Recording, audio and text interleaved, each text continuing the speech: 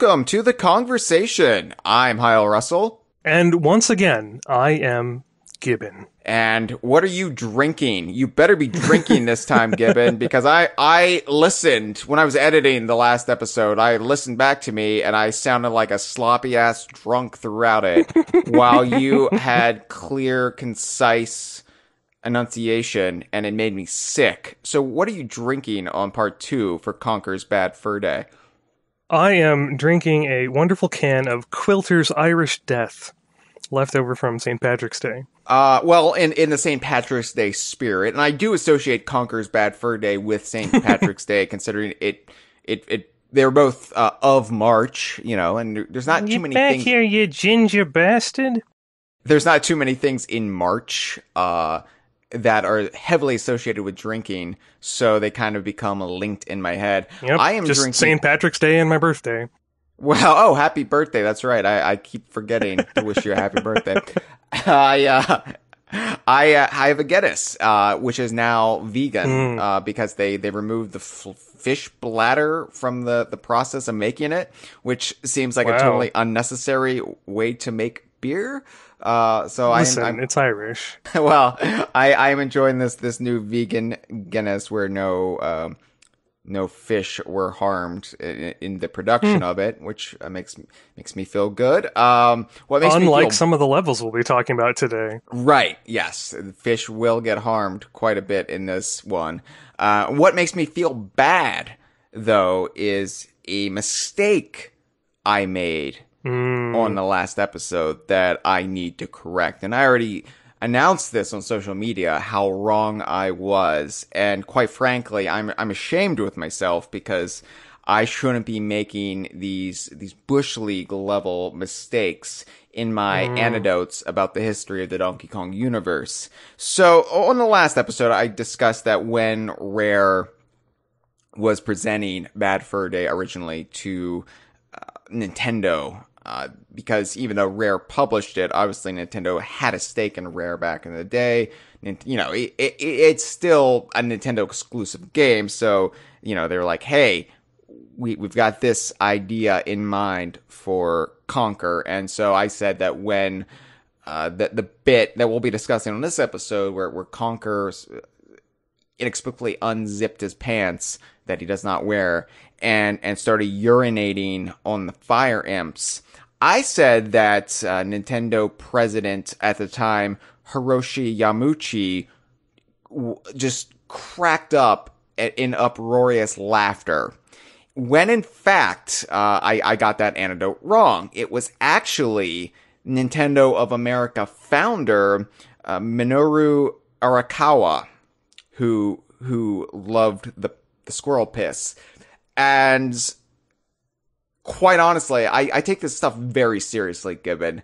And the fact that I attributed the the the love of woodland rodent urine to the wrong individual it it, it just devastated me. And I, I haven't I- been able to eat. I haven't been able to hmm. sleep and so I would You've been like able to drink, obviously. well, that's the Uh, only thing that's been getting me through. Yes, but um, I think what what happened was so in, in the anecdote in the story, that I Mm-hmm. absorbed it uh because Nintendo of America president at the time Howard Lincoln was also there, and so the word president got lodged in my brain.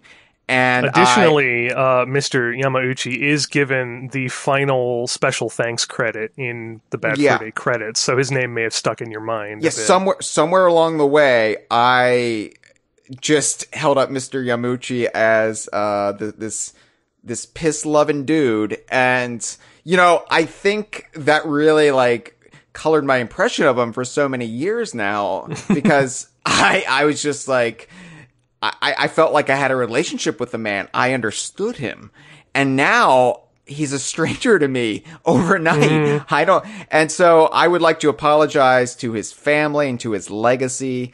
And I would like to apologize to Mr. Arakawa as well, Nintendo of America founder, uh, who is actually, uh, the, the guy with the, the, the, the wicked sense of humor when it comes to, uh, piss in video games. So apologies all around. I will strive to do better in my, uh, PP based Donkey Kong journalism.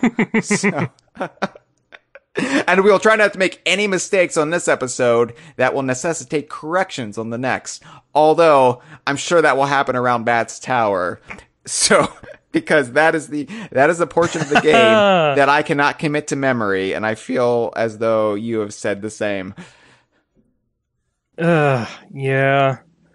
Even playing through it, I was like, wait, did this section exist? What? it's like a section. Well, we'll get into it. I, I, I'm Yeah, yeah. bearing the lead here. So, Conker's Bad Fur Day Part 2. Now, we're going to be discussing chapter to chapter the game as, as it is, but Conker's Bad Fur Day is a, it, it's an odd game to try to discuss in such form because the structure itself is very loose. Uh, you, you can tell Chris Seaver and Robin Beanland wrote the dialogue sort of in an improv style. They just went along and, and wrote everything. Yeah, there's there's a famous anecdote about uh, the film Milo and Otis, which originally was a Japanese film that had like um, haiku and poems being read over these woodland adventures of this kitten and this puppy. Um, but for the American version, they got the uh, the voiceover artist in, didn't tell him they were recording, and just kept pouring him scotch Yeah. as he made up stuff for like the initial pass. And I kind of feel that's sort of what happened here. I, I think it's exactly what happened here. And th- so, like, Conker's Bad Fur Day is often described, you know, it, it's, it's a 3D platformer, but it's not a 3D platformer in the same vein as Banjo Kazooie or Donkey Kong 64 to carve out its own identity when it made the leap from 12 Tales to Bad Fur Day and to set it apart from the Banjo series, I think in particular, because you know, Rare had three 3D platformer series like in the oven throughout the mid to late 90s into the early Yeah. aughts. And, you know, I think Seaver, when he took over the project, um, and it kind of became his baby, he really like, okay, we need to set it apart from Banjo. We, and, you know, aside from finding that the hook, the angle where they were going to make an M-rated, uh, lewd and crude game, they, they also decided like it was going to be more of an experience rather than a crisp platformer, if, if that makes any sense. It, it was, yeah, um I'm a big fan of the Oddworld series as well. I just hmm. don't talk about it a whole lot. But they are classified as cinematic platformers where they're more about the experience than the platforming mechanics and they have these sort of contextual actions and stuff that go along with them. sure. and I feel like Bad Fur Day is much more that type of game than it is something like Super Mario 64 or Banjo Kazooie. It it really did find its own identity, and that's why even though you know when, people compare Conker with with Banjo, I you know I don't think it's a fair comparison because they're not trying to do mm-hmm. the same thing. So obviously, if you're just comparing them on pure nitty gritty platforming, Banjo will always win, but. Conker really went for that cinematic experience. But I bring that up because the way the plot is structured, it is so loose and freestyle. It almost feels like a past a story. It, it doesn't feel like it, it just feels like Seaver and Beanland were having a laugh and in some ways it works as a parody of convoluted video game stories and in other ways it doesn't work at all but it somehow still hangs together Yeah, like there's there's parts of it that are kind of like yeah, this is a world where stuff goes on without Conker's knowledge, and some of it he's never ha- going to have knowledge of it. He just kind of wandered into the middle of it and wandered out, and he doesn't really know what was going on there, and that makes it feel much more like a living, breathing world. Yeah. Uh, but at the same time, there's stuff where it's just like you, the player, are like, what what the heck was that about? What's going on? What did I just participate in? Yeah, and, and it, it's it's awkward too, as you know, we're both Americans, um, and this is the most British game that Rare released on the N64. When when I say like humor wise, references, it's it's a lot. I I think Seaver just in general, like when you look at his output, uh, as kind of an auteur game developer designer he he he does he has like areas of interest that appeal to him and i think he never tries to and i i say this as a plus like i'm this isn't me knocking him. I don't, I don't think he ever tries to sort of water it down for like an american audience like you f- i really feel like yeah. rare really strived during this time and this was probably direction from nintendo as well but they were like you know let's americanize our output a little bit even down to the spelling you know like they used american english uh, for those Donkey Kong games and Banjo Kazooie, and you know you don't see that anymore in, in Sea of Thieves or over at Playtonic with the Yooka-Laylee series. You, you, you, they're definitely British. They're definitely loud and proud products of the UK.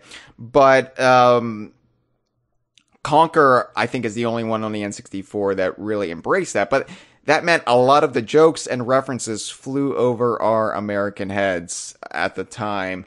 And Yeah. so you got that. You get like a lot of what I consider or have a feeling are just in jokes between Seaver and Beanland, and because you know they're they're close friends. They're they're really Yeah, um, in in real life. Like besides Beanland doing the music for this game, you know they're I they're like best buddies. They watch each other's dogs. They when I went to Rare uh, in 2015, I I've never met Chris Seaver in person, but I had the great pleasure of meeting Robin Beanland a few times, and I uh, of course uh, spent some time with him uh, at Rare when in 2016.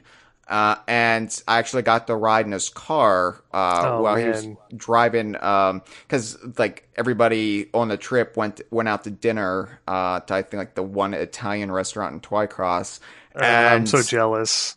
it, it, I mean, it was a surreal experience, but yeah, I got to ride uh, in the in the front seat of Robin Beanland's car, and he had to apologize for the dog hair in it that was actually Chris Seaver's dog. Uh, so I but that that that that's my one Kevin Bacon esque uh like tie to Chris Seaver is that I sat in his dog's hair once. That seems eminently apropos. So you get a lot of like I think in jokes between them in this game. You also get the parodies, uh, mostly movie parodies, Yeah. and you know, Conker's Bad Fur Day. It, it kind of came out right around the time of the scary movie franchise, and but it predates the really hacky ones that came out later in the aughts, like hmm yeah. superhero movie and date just blank movie basically Oh god, I forgot those existed. And you know this this is kind of like this awkward period in pop culture where YouTube isn't really this entertainment juggernaut that it is today where people just pull up YouTube for a night's entertainment. And so and and you know nowadays we communicate uh references like this through gifs or gifs if you will on twitter. And, and you know it's just like oh here's this here's this uh animated little silent image of this movie or tv show and we're going to use this meme to communicate whatever and that's how things are referenced nowadays. So you have no need for this like parody genre. Uh so you know, Summit Conker's Bad Fur Day, the humor probably doesn't hold up. And I say, you know, humor is subjective, so I'm not gonna like make a de- definitive statement on that. But I, you know, it, it depends what the reference is. I feel like Conker's Yeah. Bad Fur Day really soars in the parody department. Yeah, it's When- it's when- interesting to see how Conker went about it versus how like Gex went about it because it was also doing Mhm. that same sort of thing. I, I feel like Conker soars in the parody department when it takes something as a starting point, but then really goes off in its own direction. I feel like it falters when it's basically a shot for shot remake of something, just with squirrels and, and whatnot in its place.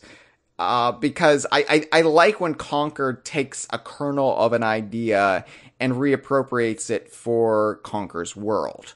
Um, Yeah. an example of that is Heinrich, who is a xenomorph alien from the Alien franchise, but he's not an alien in the context of Conker. He's this genetic experiment. Uh, Yeah. I mean, it, it's it's a little bit dodgy, you know, like like a lot of the lore in Conker, but it, Mhm. it's you know, th- I think that works. Whereas the Matrix parody doesn't because for one thing the matrix has been parodied to death and it's not even that amusing anymore uh and sure back in 2001 seeing a parody of like this really like iconic moment from a relatively recent movie in a video game starring a squirrel it was pretty cool and novel It was It really did- cool. just didn't age all that well when everyone else did a Matrix parody in the in the following years. Uh, but you know, like the the parodies to me, like they're they're just there. Like it it works in this odd sort of tapestry that Conker is this improv goofing off between two friends essentially uh, and you know yeah. like because beanland you know i think beanland doesn't get enough credit for his contributions to the story because it, it, it was him and seaver and so uh, yeah but the, the the story there there is a story beyond just the set pieces but really it is a day in the life of Conker and the residents of the Panther Kingdom, this corner of Willow Woods that is the Panther Kingdom, however you want Yeah. to parse out the geography here. But it is uh it is a ridiculous plot. And when I say it seems like it's a parody of convoluted video game stories or stupid video game stories, and it, it just leans into being stupid for uh, like for stupidity's sake. I mean it. So I did not transcribe any of the plot. I did not write any of it out in the show notes. I thought it would be amusing for us to try to describe it without notes. Uh, yeah. Like how high high concept level are we getting here? Because at a very very high concept level, it's it's Conker doing a bit of a walk of shame the morning after. Yes, Uh. yes. Uh, so basically, there there are two or three plots that are inter- intertwined, and they all come together. That's at the end. true. Yeah, yeah. There's there's Conker basically waking up in a field or or a garden, um, Yeah. completely like hungover and feeling sick after a night of debaucherous drinking. There there is this uh plot then it ties into that his relationship with Barry, who you know was in Pocket Tales, was intended to be the co-star of this game, still is billed as the co-star in the game's opening, but has a very minor role. Uh, but basically, Barry is pissed at Conker and takes it out on him in a, ludicrous way. Very passive aggressive way.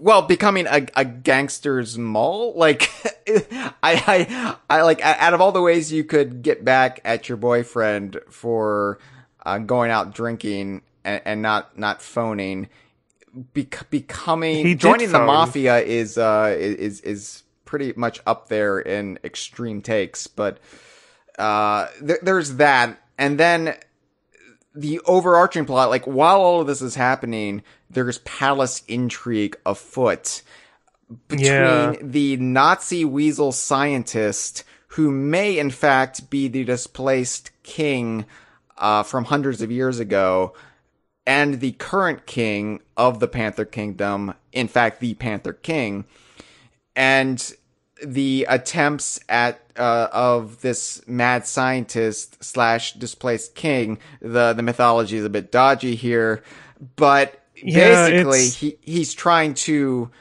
overthrow the king by starting a war with his own uh, fascist teddy bear army. yeah, he's got a couple different plots running at the same time in the background, and oh man, you you talk about the mythology being dodgy. I've got the the manual here next to me, Yeah. and it's like it starts out with a little ex, like an expanded version of the scene with Conker in the pub at the beginning, but then it gets into like extra information you might need to know and it's just like two or three pages long of like oh and here's this stuff about like the ongoing war and this information about like the ancient milk wars the Milk Wars, here's yes. here's the the legend of the beast of pooh mountain and Yeah, yeah. It it it is it is a dense mythology that even Chris Seaver couldn't keep straight by the time he got to Live and Reloaded. but like you don't you don't really need any of this background information because they kind of cover the, the salient points in the game itself. so the the the only same thing time- that I think you really need background on is the Milk Wars because the Milk Wars Yeah. and milk in general, it, it's a weird angle. Uh, basically though. Conker gets into the crosshairs of this palace intrigue while he's just trying to get home, nursing his hangover, because the Panther King was drinking milk and he set it on his table, and it turns out the table only has three legs. The milk spills, and and literally this all gets rolling because of spilt milk. And the professor decides to explain to the Panther King that he can fix his table problem, uh, not by like getting a new, like just like getting a new table. He can fix the the table he set his uh, spilt milk on by getting a red squirrel to act as the fourth leg on his table. I just want to point out look at that table. There's no way this was an accident. That was a clean cut. oh yeah, The, the, the, the professor had to have set this up beforehand. yeah, yeah. This like. But literally, this is the dumbest fucking plot in the Donkey Kong universe. It really And- fucking is. And no, that's this is why I adore it. Uh, when I say it's the dumbest fucking plot, I mean that highest compliment. But oh yeah, very everything, endearingly. everything else is, is even like the really like the plots that almost seem like parodies of video game plots, like K. Rool steals Donkey Kong's bananas, Donkey Kong is sad, or the really weird convoluted plots like K. Rool is no longer the acting Kremling king, but he has a puppet monarch in place that's actually a killer robot named Chaos, and he is using Donkey Kong and Diddy Kong's brainwaves to power the robot. Uh, that was only two years after the banana thing, by the way. I Donkey Kong got uh, weird when you fast. when you spell it out like that. and, and you know, the, the, you know, Banjo Tooie had a had a slightly more convoluted plot than Banjo Kazooie's thing, but this is this is a convoluted plot that is purposely bad. It, it it's the the Panther King is sending out his forces to abduct Conker, so Conker can serve out the rest of his days or to be murdered and taxidermied. There's a couple of different game over sequences which actually show this. Uh, Yeah. show this play out. They're, they're just like Banjo and Donkey Kong 64. You see this alternate, like the hero falls timeline in the game over sequence where, where Conker is in fact uh, captured and becomes this table leg. But this is literally why Conker is now being targeted throughout the course of the day because the Panther King has got it in his head. And the Panther King, well, we'll get into the characters here because I don't. I, I have some thoughts on the Panther King and the Professor, obviously, and Conker and Barry. And yeah, and it's it's that's one of the reasons I I actually really like Young Conker is because it kind of recontextualizes a lot of this stuff. Um, Every Conker game some, after- like oh huh moments to it. Yeah, every Conker game after Bad Fur Day has recontextualized this story. so, Mm, I don't know about that. Uh, yeah, I mean, Live and Reloaded definitely mucked up the mythology here quite a bit. Eh. you really okay, need to- yes, yes, it did. But then again, Young Conker uh, went with like the original version, so you just kind of have to assume like the professor had some prosthetic legs for a hot minute or something. Um, I would never dare to use prosthetics in my fan wanking, good sir. You're right. You'd be completely serious about it. So, uh, Prosthetic basically, golfing though, legs. Come on. basically though, th- this palace intrigue between the Panther King and the Professor, it, it all stems from this centuries ago conflict, and, and how long ago it was is, is a bit dodgy itself. Uh, it, it, it can be anywhere in like the 16 to 1700s, or it can be even further back depending on what in-game evidence you, you want to source. But it's the Ooh, Milk I Wars. actually, I actually plotted this all out on a timeline. Oh, So- okay. Well, the the Milk Wars uh, was this this conflict, uh, this this ancient conflict, or not maybe not so ancient, at least centuries old conflict in what is now the Panther King, which is this this kingdom within the Willow Woods region, established and Conker's Pocket Tales. Uh, all- but it it was uh between the, the- so oh god my brain the, You- there was a you want me weasel king. in? There was a weasel king. no, let me see if I got this because I said we wouldn't use Okay, notes. So This okay. is this is where I stumble here. There was a weasel king, right? And Yes. Then there was this battle between the squirrels. Uh, th- this this race or or guild of squirrels called the Kulas of Conk. Um, Yes. and they allied with the Panthers against the Weasel King and the Teddies, his army of Teddies. Although I think it was just implied that the Teddies were a part of it. No, they were. They were definitely a part. It wasn't Yes. just implied. It was established. So that the Teddies were the the Weasel King's forces, and and the two sides went to war. This is where uh, Batula uh, he served in the Milk Wars, uh, which the Milk Wars then kind of become uh, a parallel, in, at least from Batula's take, uh, with with the Crusades. And Yes. so when when Seaver was planning to do his, his multiplayer opus to follow up Live and Reloaded, Conker Getting Medieval, uh, I, I I it's never been I think a hundred percent confirmed, but I assume that was going to be the Milk Wars. Yeah, that's that's what the assumption was. Um, Batula's uh, slash Concula's birth date is given on a headstone in the game as 1776. So, yeah, thereabouts, which broadly gels with the uh, the date given as something like 300 years ago for the legendary Milk Wars. I did a video biography of Batula slash Concula for Halloween a couple of years ago. So check that out on the DK Vine channel. I try to make sense of Batula's backstory, uh, y- like using, uh, all, all of the, like, amalgamations of Vlad Tepish, Vlad the Impaler with, uh, Bram Stoker's Count Dracula over the years. And, Oh man, um, do you know what? You want to know something cool I discovered the other day while while uh, commenting on my playthrough?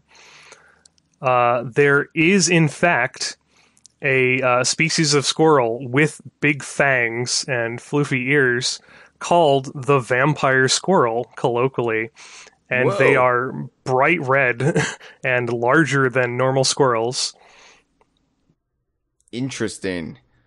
yeah I'm going to assume they did not know that while making. yeah i'm gonna assume that's a happy coincidence. I think they just wanted to do uh, a Resident Evil style room, and they decided they also want to do a parody of Bram Stoker's Dracula, the the Francis Ford Coppola movie, and uh, they just went from there. But um, yep yep.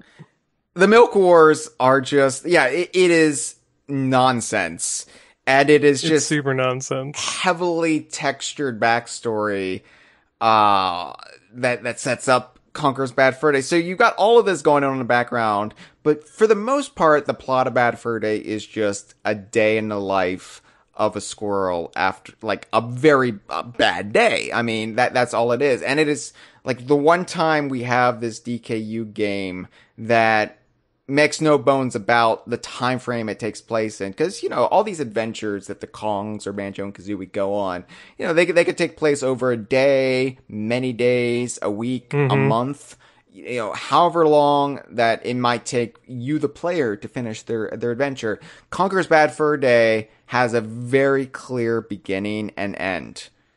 It, it takes place over uh like a maybe 20 to 24 hour period and yeah there's there's multiple parts throughout the course of the game where conker like pulls out his pocket watch for comedic effect.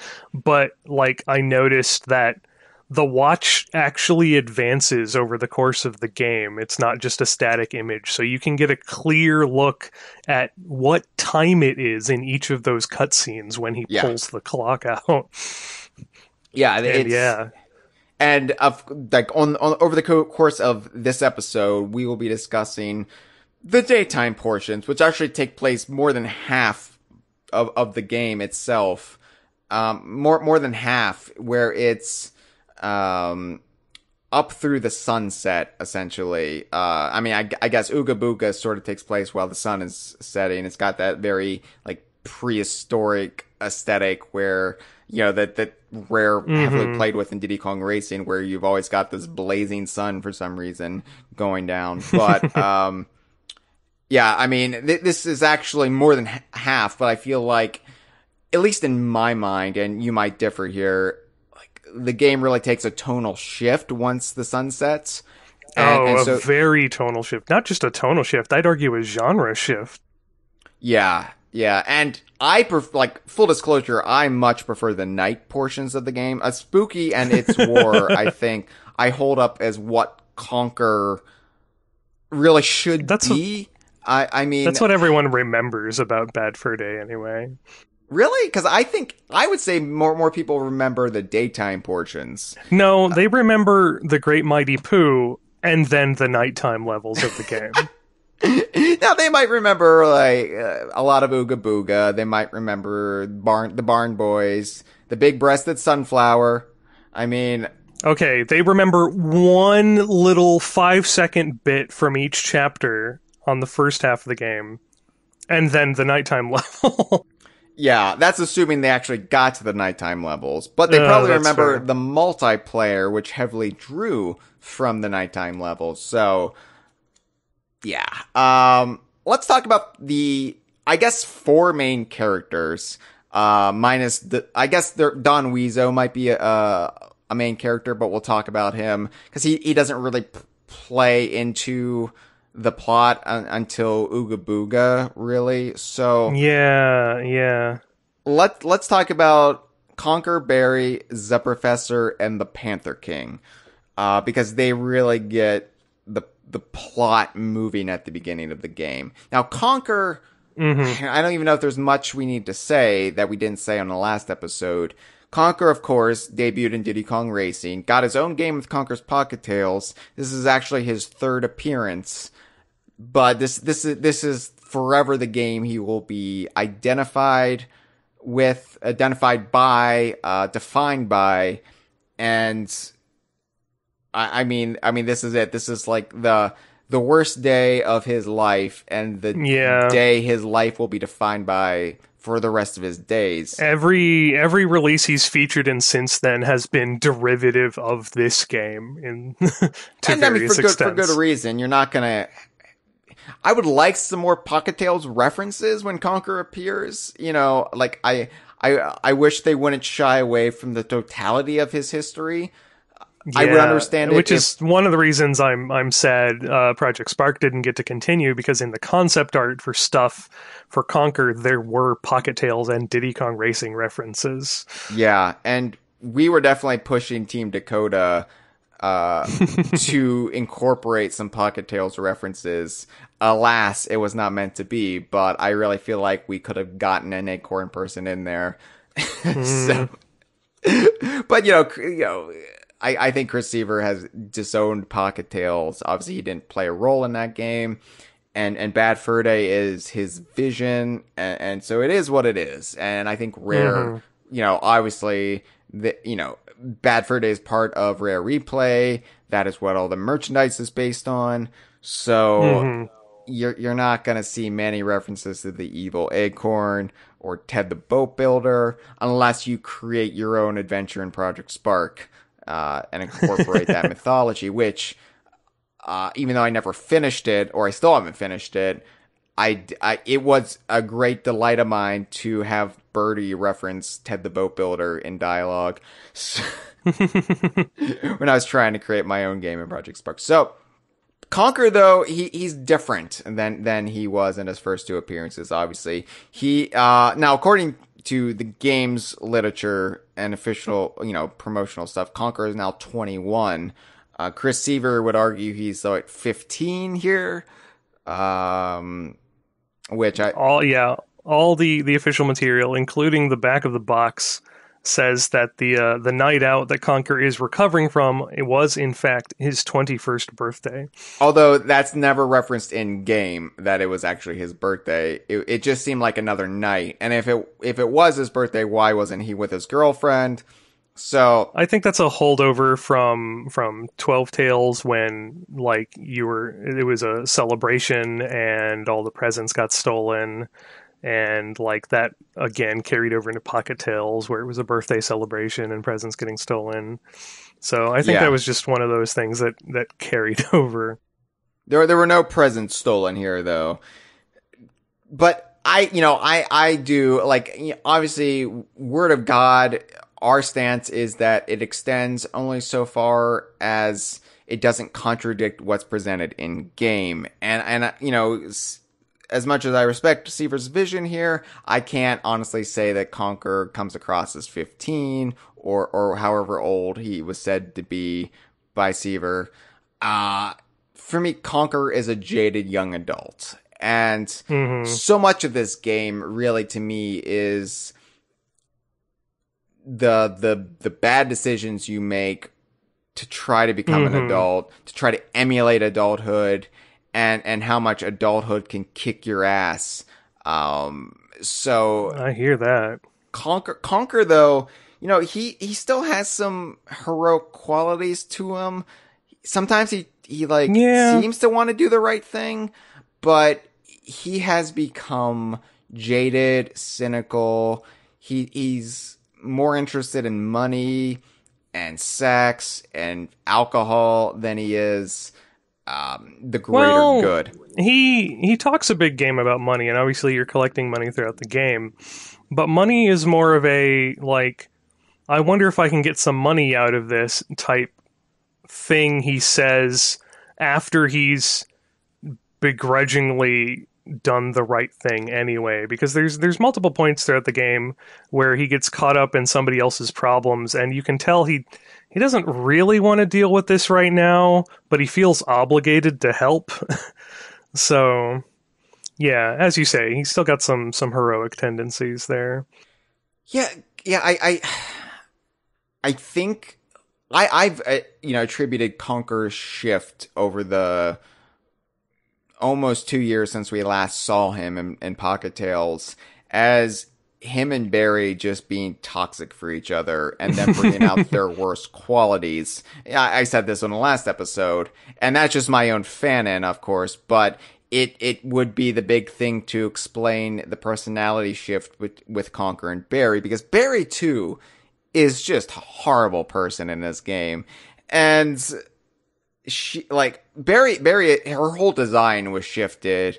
Obviously in 12 Tales and Pocket Tales, she was this stout little chipmunk with brown fur, Mhm. you know, little skirt, uh, brown hair. I really like that design. I think it's an adorable design, honestly. actually if you if you look at the the video footage that we have of 12 tales there's like three different designs for barry um she right, yeah. it's, it's mostly just the the coloring and she goes from yeah the, how she looks in pocket tales to um sort of different uh fur and hair colors And I think in the the latest chronological one, she has blonde hair and gray fur like she does in Bad Fur Day, and then in Young Conker, she's got a nice middle ground where she's got like gray fur and brown hair.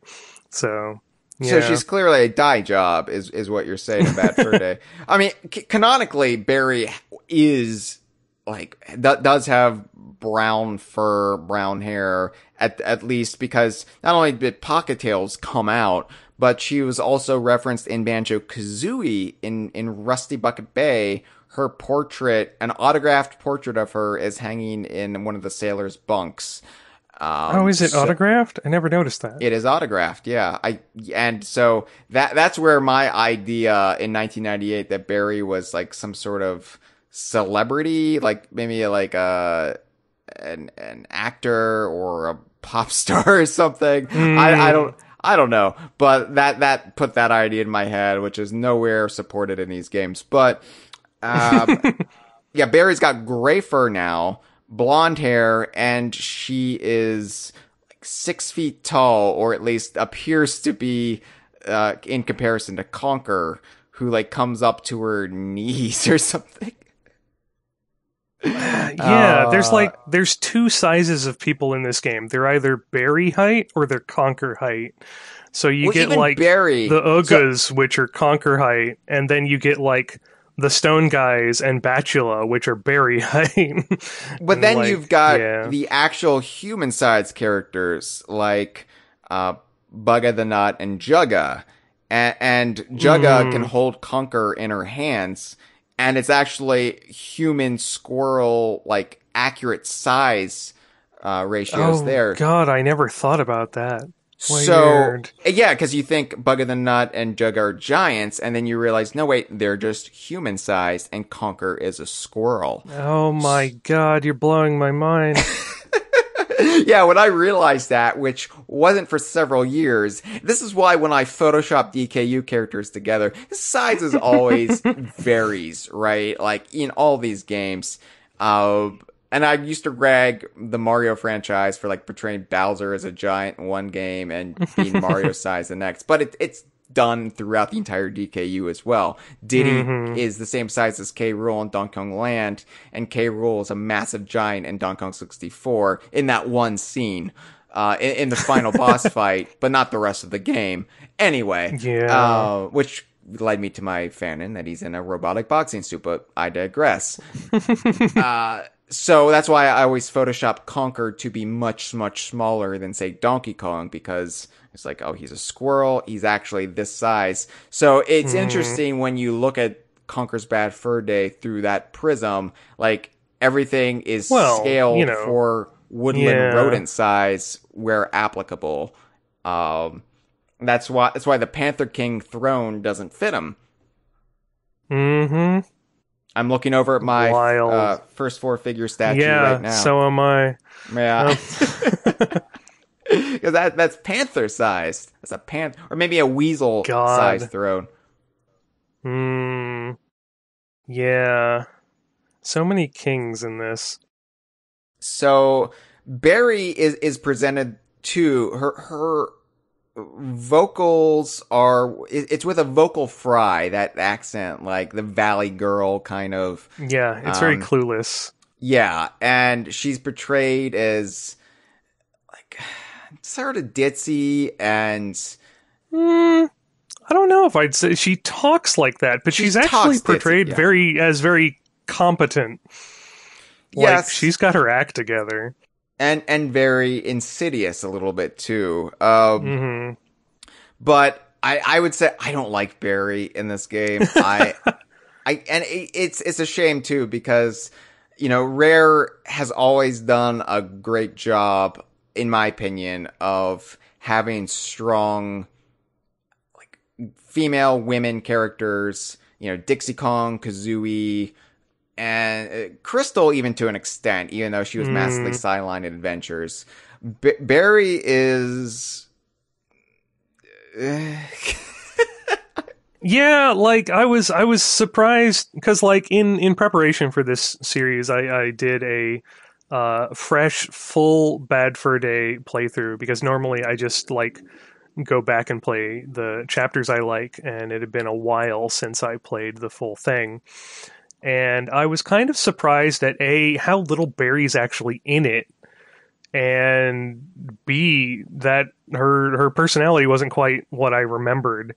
And like I played through Young Conker and did some some video recording of that for um, DK Vine uh, in the not too distant past, and I, I think a lot of my appreciation for a character actually stems from that. honestly, Yeah. Uh, I, I, I, I'm desperate to play Young Conker to kind of recontextualize like the middle ground between Pocket Tales and Bad I Fur mean, Day. I did do those recordings. You can watch them. it's not the same as experiencing I it. I I know it's super not. Uh, trust me, I And I don't really want to spoil it for myself. I've seen a little bit, but I really Mm. feel like uh, I would. Uh, it would be a game I would actually appreciate, Mm. especially since it's just Oh, I super think you would. a conker lore dive and and and almost like a, a bandage between uh, like the two eras of conker so anyway yeah barry it's weird that like the game is presented it begins it says starring conker and barry and barry hmm factors in so little like uh, up just you know the very end she really plays a large role but i think it's more of an artifact of the fact that she used to be the co-star of the game and maybe that it's just a nod to that even if it's not accurate in the present. But yeah, yeah, I, I just get the impression that Conker and Barry brought out the worst in each other, and that's essentially where they're at. Obviously, spoilers, Barry dies at the end of the game, but I feel like, you know, there, there's this argument to be, uh, it, it, there's this trope in, in fiction, and it's been referred to as women in refrigerators, which actually refers to. thanks, Green Lantern. Yes, it, it refers. So I actually owned and read this issue when oh it came wow, out. I'm Um, proud of you. Kind of. I don't know. Well- you were reading Kyle issues. dude. Kyle Rayner was a good uh, character. All right, better than Hal Mm. Jordan. I'll fight you on this. Oh yeah, that's a low bar. Come on. Okay, but I'm saying he replaced Hal Jordan, so but no, Kyle Rayner, his era as Green Lantern in the 1990s. It was 1994, and he'd been Green Lantern for several issues. He had a girlfriend named Alex, and essentially what happened was a supervillain named Major Force. It was the 90s. He uh murdered Kyle's girlfriend and stuffed her body in the refrigerator for Kyle to find. And the death meant nothing except as a way to motivate the male hero. And that kind of put a spotlight on this trope of the girlfriend character getting killed to as and sort then of. they had him hook up with a other woman who was much younger but got like time stamped into an older body and yada yada yeah it's no, that was Hal Jordan. um was it Yeah.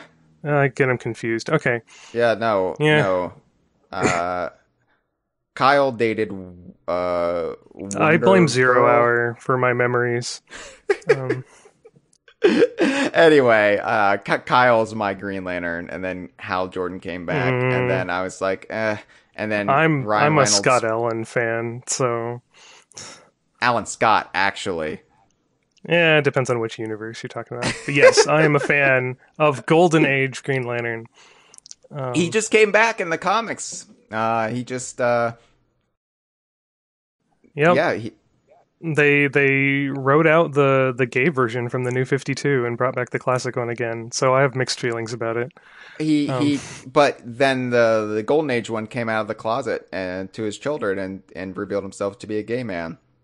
So oh i missed that okay Yeah. interesting Yeah. Hmm. So they've just basically consolidated the two into one. nice i'll have to go track that down Anyway, uh, sorry for this. I, Oops, all in what is completely appropriate for this episode a blue coat just fell down past my window from a higher story what?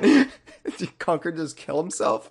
i i don't know um anyway, I I would argue, and, and maybe I shouldn't be the one to argue this, but I feel like Barry and her death isn't really the women in refrigerators trope.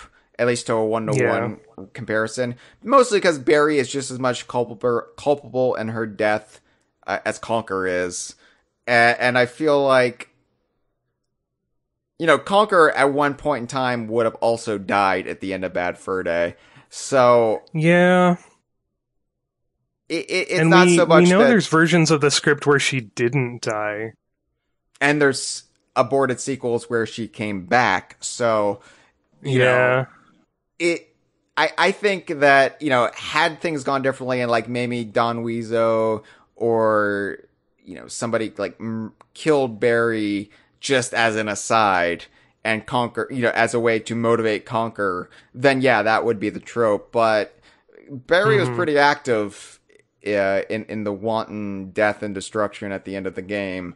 And, and Mhm. so, yeah, it's, she she's not much of a character. Um, honestly, maybe, maybe young Conker adds more depth to her again, but as Mhm. far as Bad Fur Day goes, eh, like I, I struggle with this because I like Conker. I like his corner of the Donkey Kong universe, but he's not a character I would really want to spend time with or actually visit his side of the world. Like it there there are there's enough off-putting things about him that make him an interesting character, but not a character I would want to Mhm. hang out with like your Diddy Kongs or your Banjos. Uh yeah, not not in this stage in his life anyway. maybe Big Reunion because I I like that the Big Reunion Conker uh which takes place 10 years after this game has him sort of broken and and sort Yeah, of reflective and like sort of owning up to who he was and what he became and which is in my mind the perfect way to take a conker sequel so i i you love young conker or you at least respect young conker for what it is. i Mhm. love big reunion and people are going to complain about Oh, that in the comments i'm sure yeah. anyway conker and barry yeah they're they're very flawed individuals and uh, they they be they're pawns in this story but then they're very also there, there's some instant karma for their actions that uh there, there's blood on their hands and then there's there's blood shed from them as well. Blood and tears.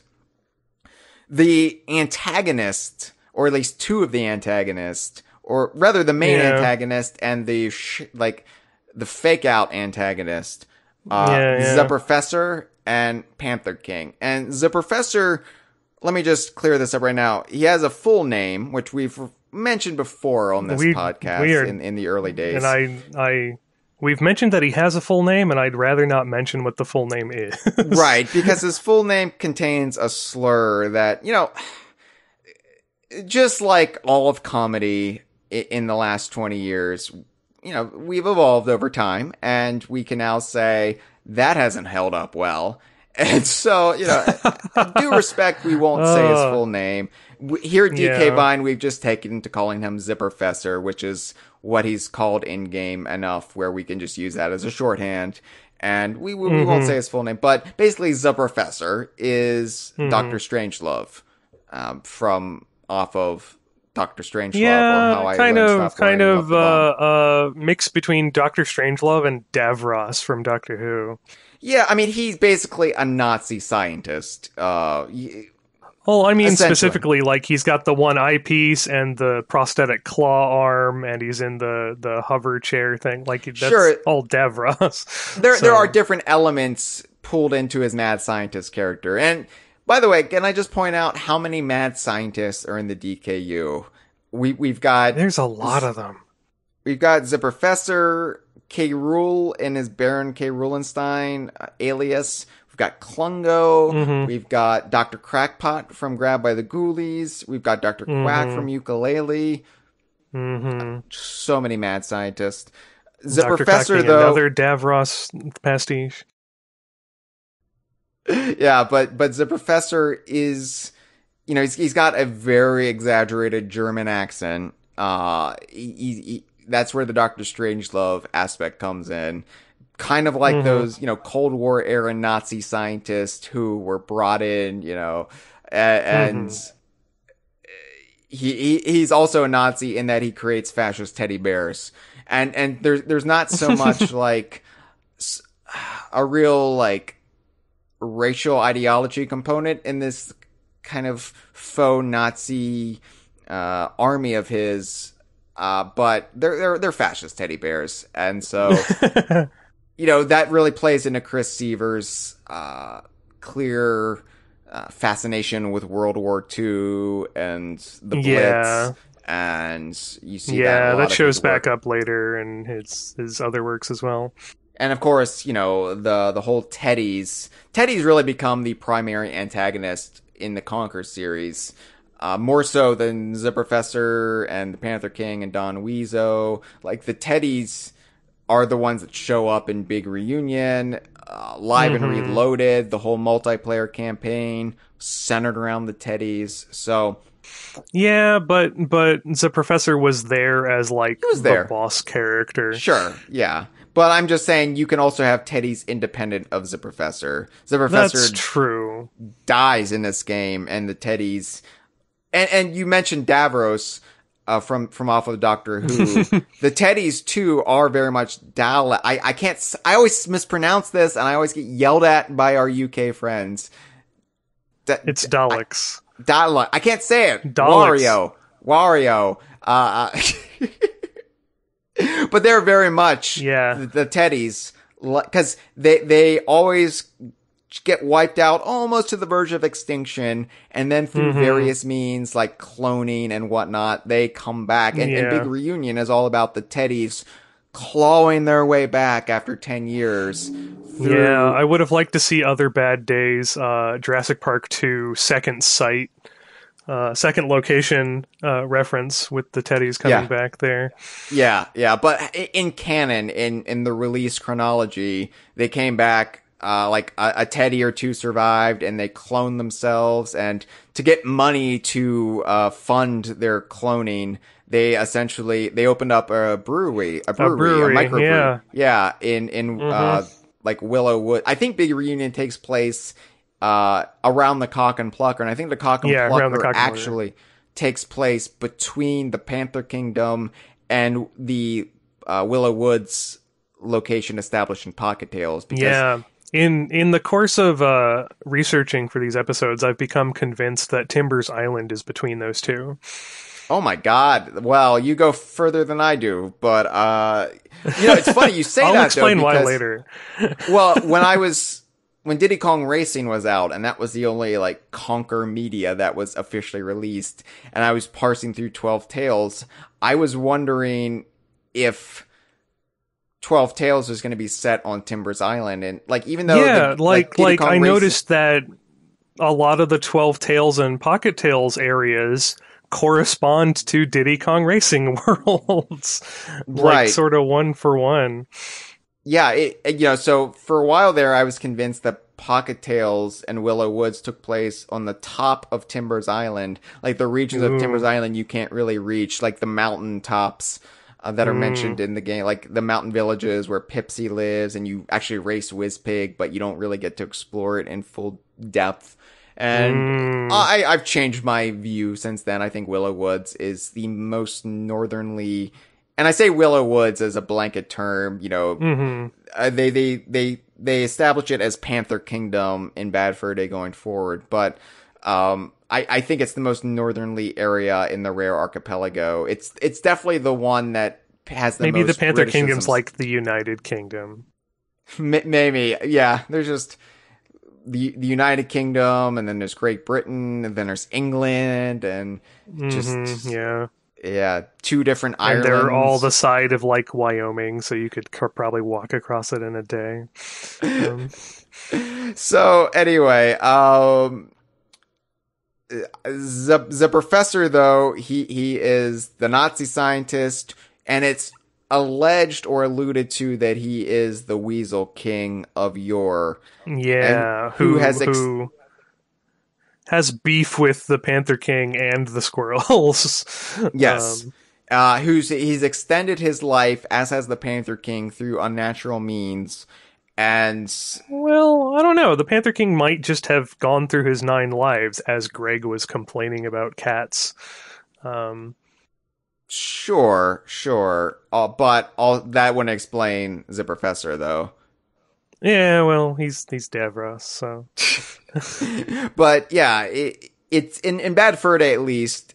It, it's alleged, or you're left to infer that he is the Weasel King, who's this place in Milk Wars. The Panther King cut off his legs, and somehow then he became subservient to the Panther King and his his science guy, his his science advisor, his Klungo, uh, if you will, Yeah. his Doctor Crackpot, his Doctor Quack. There's always uh, a sidekick man. mad scientist. So, side note, we we talked last episode a bit about how Twelve Tales was interrupted as the team was diverted to help out on Donkey Kong 64. And I was looking at Snide, and in an earlier version of the script, uh, Snide's character is a little different in that he is K. Rool's science guy who never gets to work on like actual stuff because K. Rool he's complaining about how K. Rool keeps having him like change the light bulbs or fix the door. And Yeah. so he's conspiring against him and uh, roping the Kongs into his plans of getting back at the the evil dictator he ostensibly serves. And I'm like, wait a second. Well, and you know, really Snide familiar. is a weasel, and actually Yeah, yeah. marked the DKU debut of weasels. So, in in my head canon, and I I actually think there's enough in the games to support this. He is from the Panther Kingdom. He maybe even you Oh, know was yeah. part of the Panther King's court, and you know maybe worked with the professor. And then when K. Rool was displaced, uh, following the events of the Donkey Kong Country trilogy, he had to bring in like non-Kremling help to to build Hmm, the, uh, the mechanical crocodile isle and the Blast-o-Matic. So he enlisted this weasel scientist from the Panther Kingdom, who then I believe you know, it. yeah, and then except Donkey Kong 64 in the final story, uh, Snide helped him build everything, and then K. Rool fired him without payment, and that was Snide's source of beef. Mm-hmm. Yeah. Panther Makes me King. me yeah. Go ahead. Panther King. was- yeah, the Panther King. Uh, he, you- you're made to think the Panther King is going to be the main villain, but it's very much. You know, we talk a lot about the parallels in all the rare games, and the Panther King is your General Scales, uh, or even your Chaos, maybe, but more General Scales in that. I mean, you know, the Professor is a bad guy, and you know he's Yeah. driving a lot of what's happening. You can kind of figure out. I mean, you know he hates the Panther King from his dialogue, but you really don't un- grasp all of the Professor's machinations until the very end. Yeah, yeah.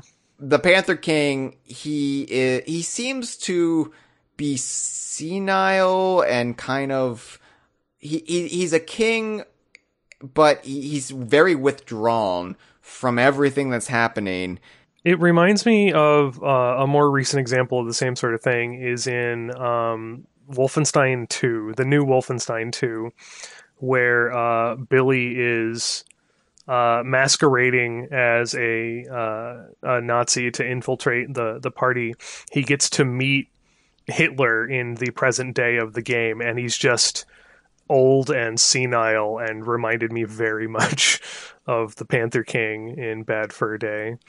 So and and uh, this wouldn't be really a contemporary reference because Bad Fur Day came out in 2001 um and unless it was uh, inspired by the the actual books but um I, I sort of get the sense too of uh Lord of the Rings the two towers uh Mm. the- Theoden the king of uh, Rohan when he's yeah, kind of under like that. under uh, Saruman's um, thrall a little bit, and he's just kind of this empty vessel sitting on a throne. Panther King has a little bit Mhm. more um, agency than that. Like, I, I, and the professor isn't really a Wormtongue so much because he he is. Uh, He's more the driving force of evil in the game, but yeah, it's Mhm. weird because the Panther King, there, there's clearly like a Panther Kingdom that's established, but Yeah, you, you, you listen to Conker, and he thinks the Panther King doesn't even exist.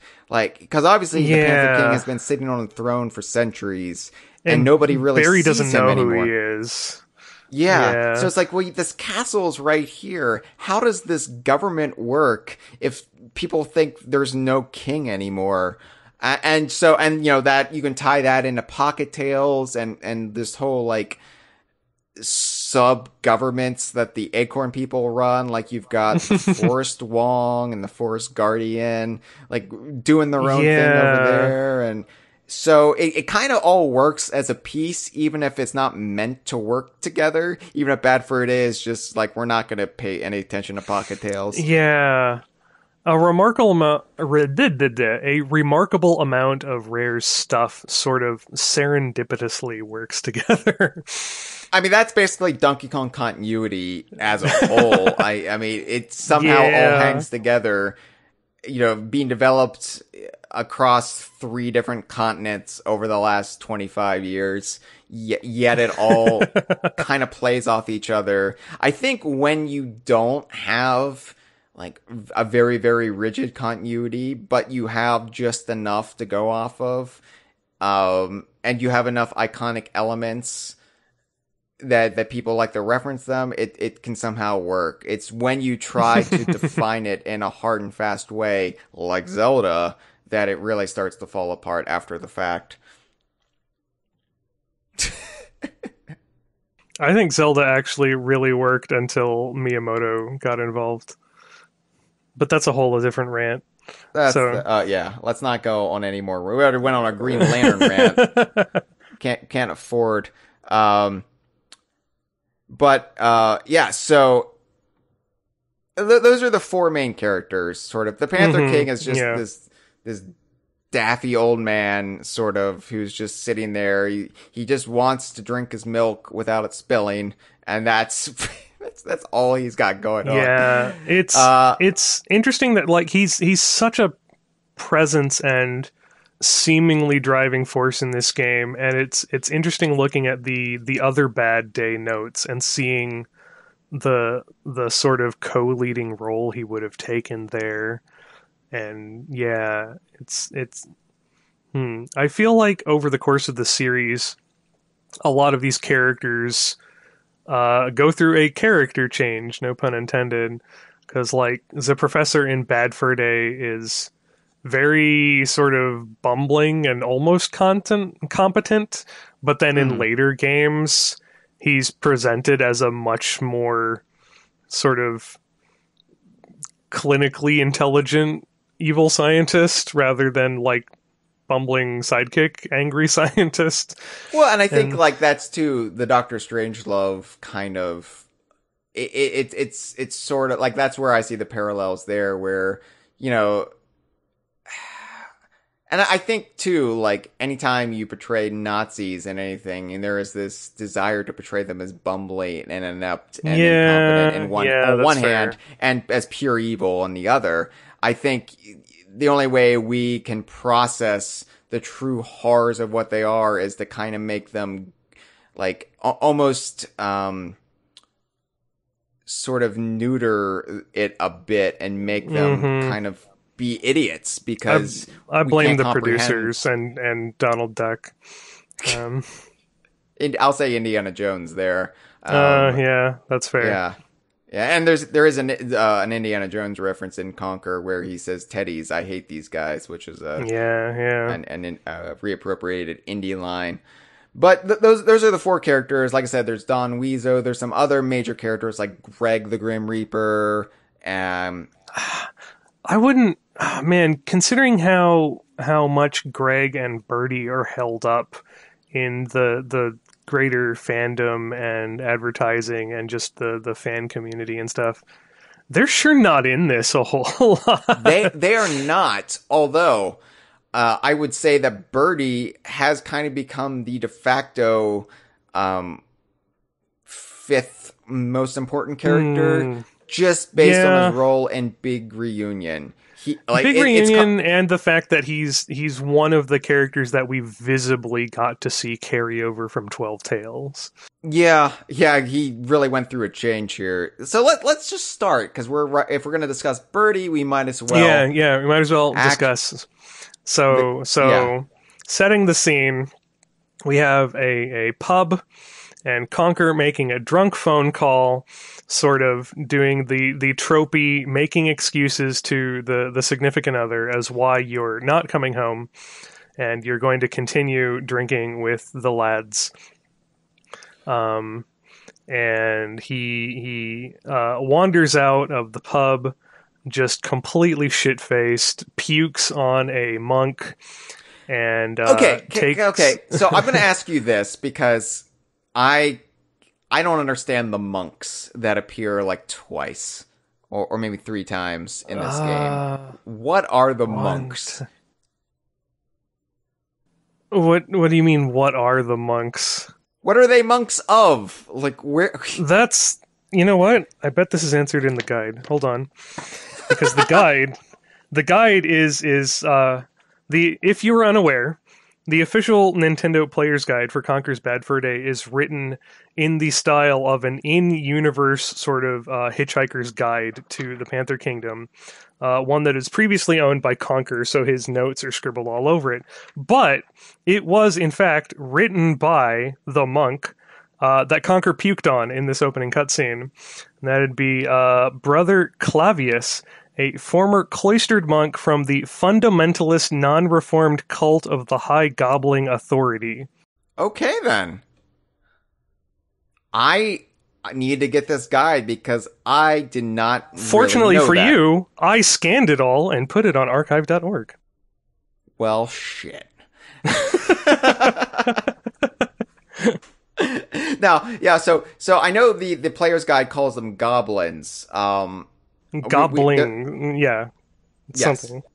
yeah, but they're they're all like so they're like they've also been referred to as imps. So it, it- they're I I we'll we'll refer to them as both, just like we refer to King alternately as Willow Woods. But um that that's that's very good lore. Thank you for that lore drop. Um There's there's bits in that guide that I swear DK Vine could have written circa 2001. Yeah, It- I I wonder like how much of this like is just invented by Nintendo Power, or how much of it is actually from Rare that never actually got published anywhere else.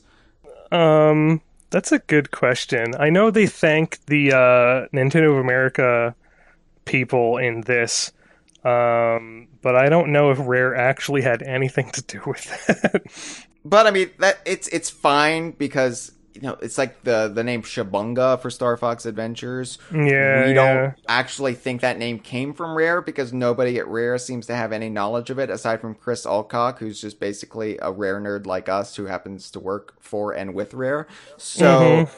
I think like they they just call him like the shopkeeper, and so the Shabunga is basically a slightly higher tier of fanon, but we're still gonna roll Mhm. with it because he's Shabunga. Damn it. Like there's there's nothing in this guide that contradicts anything in the games, so I say let's roll with it. Sure. And at this point, it doesn't really matter because it's been 20 years and the Conker series is already rife with contradictions that we can, we always try to smooth over. So what's a few more Mhm. along the way? Uh, y- y- you know, you mentioned him drinking with the lads. This is also where we get the first glimpse that there is this major conflict happening in the background because Yeah, the Cock and Plucker and is it's- full of soldiers. Uh huh. And it's just sort of a throwaway line as Conker's like, yeah, they're going off to some war in the morning or whatever. And you don't really think much about it. Um, you think like it's very easy to, if you don't know what's coming and this is your first playthrough, to just sort of assume that this is part of Conker's bullshitting. um, and you know, as somebody who's very, you know, engaged you know, politically and with the news, I even even back in 2001, I I was like I didn't understand how Conker could like be oblivious to the fact that there was this major war happening fucking right off the coast like uh, uh, of his home. And- well, um, that's like the, I think it comes up in in the It's War chapter, and it's it's mentioned in the guide and the manual, and that's uh, only gray squirrels are required to sign up for selective service. As a red squirrel, Conker doesn't even have to fucking worry about it. And that's probably But- a holdover from the days when the red squirrels ruled the land. so Yeah, I mean, but like you would think that like you you would just like actually know about, it. but I, I think I think it works though that Conker and Berri are like basically oblivious because they're so self-absorbed at this point. They're so just wrapped Mhm. up in their own vices and and the pleasure centers of their brain that they they can't see what's happening in the broader world around them to the point where Conker's drinking with these soldiers and it doesn't even really register to him that the Teddies have returned and are waging war on the Panther Kingdom and the Squirrel High Command is is fighting them and like it, it works to me like a having spent 20 more years on this earth and I see how oblivious people are to horrific events going on around them. I'm like, okay, yeah, I guess that makes sense. Yeah. yeah. The last couple years have really put all of those like why would somebody deny the zombie plague that's happening all around them? And it's like oh yeah no. No in fact the movies are being too generous. The characters are being too smart. It's not realistic. Uh, Although I thought you were referencing the spooky chapter here at first, and I was like, I don't think it's so much a zombie. Pl- well, we'll, we'll we'll we'll save that for the We'll next there. episode. Yeah, 'cause, yeah, yeah. We, we still haven't even got through hungover. My God. Um, yeah, So, yeah. Conker Conker's drunk off his noggin, wanders out, pukes on Brother Clavius, and takes a wrong turn. Yeah, so he obviously knows where the cock and plucker is because that's his pub. That's that's he frequents it, uh, probably on a semi nightly basis. So, assuming that you know Conker and Berri live, you know, in Willow Woods still from Pocket Tales, you you got to get from there to the cock and plucker, which is the the area around the cock and plucker is where Big Reunion takes place. By the way, so we see yeah. more of that general area. But then Conker veers further away into the Panther Kingdom, and this is where he's completely lost. And and there's the there the the sign, uh, nice and nasty, and uh, I guess the Panther Kingdom is is the nasty, because it it is full of degenerates and horrific weirdos.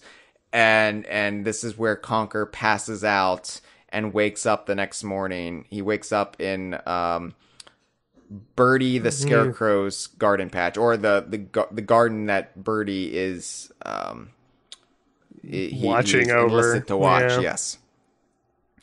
So Birdie, let's let's discuss Birdie a little bit. Yeah, Uh, speaking of in jokes between Chris Seavor and Robin Beanland. Yes. Birdie is just one big in joke. Um, he, he's a scarecrow, but he's he's a, an explicit reference to um, a, a a rare be- beardy is is the is is the is the reference. um, but he is uh, equally a, as equally a drunkard as Conker, seemingly. Um, Not just a drunkard, but he just he, he he's a he's a fucking weirdo who likes to guzzle helium. Like like it's like I don't just like alcohol. I also like to just inhale gases. and this was I don't know, this sort of sets the tone of the game where he you you stumble up to Birdie and talk to him and he explains context sensitive pads to you very stiltingly. Explain And- context sensitive pads to the audience. Uh, they're they're sensitive to context. Um, I was was talking with my friend um, Milo about this and some other people on Discord, and it's sort of uh, kind of amazing how these days having context sensitive action buttons where you you press a button and the character interacts with whatever it is in front of them as necessary um, as just sort of being how games are trademark Yeah. capital letters uh, this was not always the case uh, the, traditionally games had a, a menu of different types of actions you could use to interact with a thing that you'd kind of have to go through or press specific buttons. Like even Dinosaur Planet, which would have come out after this, had like specific sort of menus you'd have to scroll through to pick the correct thing to interact with a given puzzle or NPC to activate stuff. So the fact that Bad Fur Day was doing this, here's an indicator uh, that where you walk up to this thing and you press the B button, and a, an action specific to the environment and scenario you in you are in will occur. And that was kind of a big deal at the time. like that like nobody did that. Like it was kind of crazy. For more on context sensitive pads, please watch the episode of the Kong Comparison hosted by Jeff Onan that you Gibbon also appear in. It it is is actually on our YouTube channel or will be up on our YouTube channel uh, shortly before this episode goes live. So uh, you have a whole discussion about context sensitive pads. Also, our friend Mitchell Wolf phones in and talks about how much he hates context sensitive pads. So it's an interesting Yeah. discussion that I feel like we don't really even need to get into much here Yeah. because it's already been done. in in the context, haha, of of today's gaming landscape, they're not really much, but at the time they were sort of hot shit. Yeah. And uh, Birdie Birdie explains those to you and sends you along your merry way. And yeah, Yeah, and and so basically this whole area around Birdie's garden, one, it's the nicest area of the Panther Kingdom. it's the only area of the Panther Kingdom I would want to spend any time just It's- hanging it's out in the garden. the only area of the Panther Kingdom that still has Twelve Tales assets in it. It's got the little bouncing, dancing mushrooms and flowers and stuff. the Yeah. the sunflowers, which uh, th- there is a sunflower that comes back in in Mm-hmm. later on uh, in the game, but she's she's been given a bad fur day makeover. Uh, but yeah, you, you got the bouncing sunflowers, which appear on the Conker's Pocket Tales box art, by the Mm. way, and it's it's a nice, lovely area, but it's essentially the Spiral Mountain uh, training area of Bad Fur Day, which I guess makes Birdie sort of the Bottles figure of the game. He's, he's Mm, I sort of your even. I honestly, I don't know why Hungover's not just part of Windy because it's it's more like the part of Spiral Mountain going from Banjo's house to like the main roundabout. like yeah. it's really short. It is, it is, uh, but this is where you kind of get a handle on the controls, which, Mm-hmm. you know, after playing Banjo and even Donkey Kong 64, take a bit of time getting used to. Let, uh, Mm, Bad Fur Day fair. feels so much looser and it, it, it, it can take a bit of time to really get a handle on Conker. Like this, this is, like I said, this is a 3D platformer that isn't really known for its to borrow a phrase from our friend Josh Wallen, the Geek Critique, uh, it's not really known for its crunchy controls, its tight, crunchy controls. Uh, It- it- yeah, it I is- was noting its its control scheme is more akin to Grand Theft Auto. You've got a bit of a turn radius, you've got some momentum. Um, your your melee is a little imprecise. Uh, the focus is more on the the context sensitive stuff and the puzzle solving than it is the the platforming and the combat. But it works, and like that's why I'm really thankful. Like I can't tell you how many times I've fallen down into the water trying to get up, you know, the path to the gargoyle. But I can tell you that it took me about half an hour to do that without fucking up. this is probably why they they they separate this into its own chapter because it's just like you know what? You're probably right. Yeah, yeah. Uh, but you know, you get the hang of it, and it never really like once you get in in sync with the game. Once once you kind of tune into the game's wavelength, it uh, never becomes a problem. I mean, Yeah, revisiting this area later in the game, I just kind of breezed through it, no problem. And it's like, why did it take me 25 minutes to get up this fucking path without falling into the water? But when you first start out, it does take some adjustment. yeah.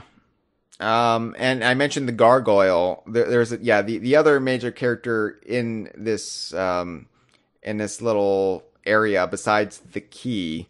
Uh, the the googly-eyed key is the uh, the gargoyle. Um, Yeah. who's just sitting on the bridge, blocking He's- your way. There's there's some confusion over whether he's a gargoyle or a grotesque, and I only bring this up because it was a bit of a thing on the Conker wiki. Um, because he's referred to as both in different places, and there is actually a difference between those two things. And it's a gargoyle is specifically also a rain spout.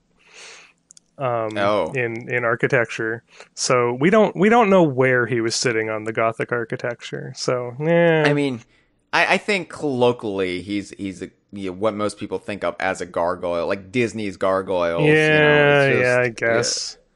Yeah. Um, now I, I I have to wonder too. He mentions Gothic architecture. Where was he sitting? Like what what was the Gothic Gothic architecture that he originated from later? Uh, in the ga- maybe maybe he's he's here because of the renovations going on over in Spooky. yeah, like like was it was it spooky or was it um the Panther King the the the, the castle? The, Hmm, the good question. castle. I don't know. Um, we hmm, we we kind of see the castles outside as like a background texture on the skybox in in various areas. But Oh yeah, like the the the I, I don't like the term skybox. I know it's the term, but to me the sky it, it makes everything feel so artificial and Yeah, enclosed.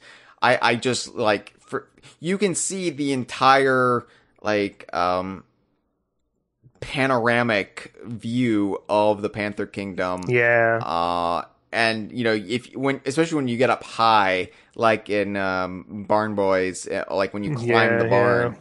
you you you can get a good look around and see everything, and yeah, and and it's kind of remarkable the sense that you know because we mentioned Ooh. like how how Cam Cam in the viewer chat points out that uh, being from Spooky would probably make sense because the river drains into Hungover.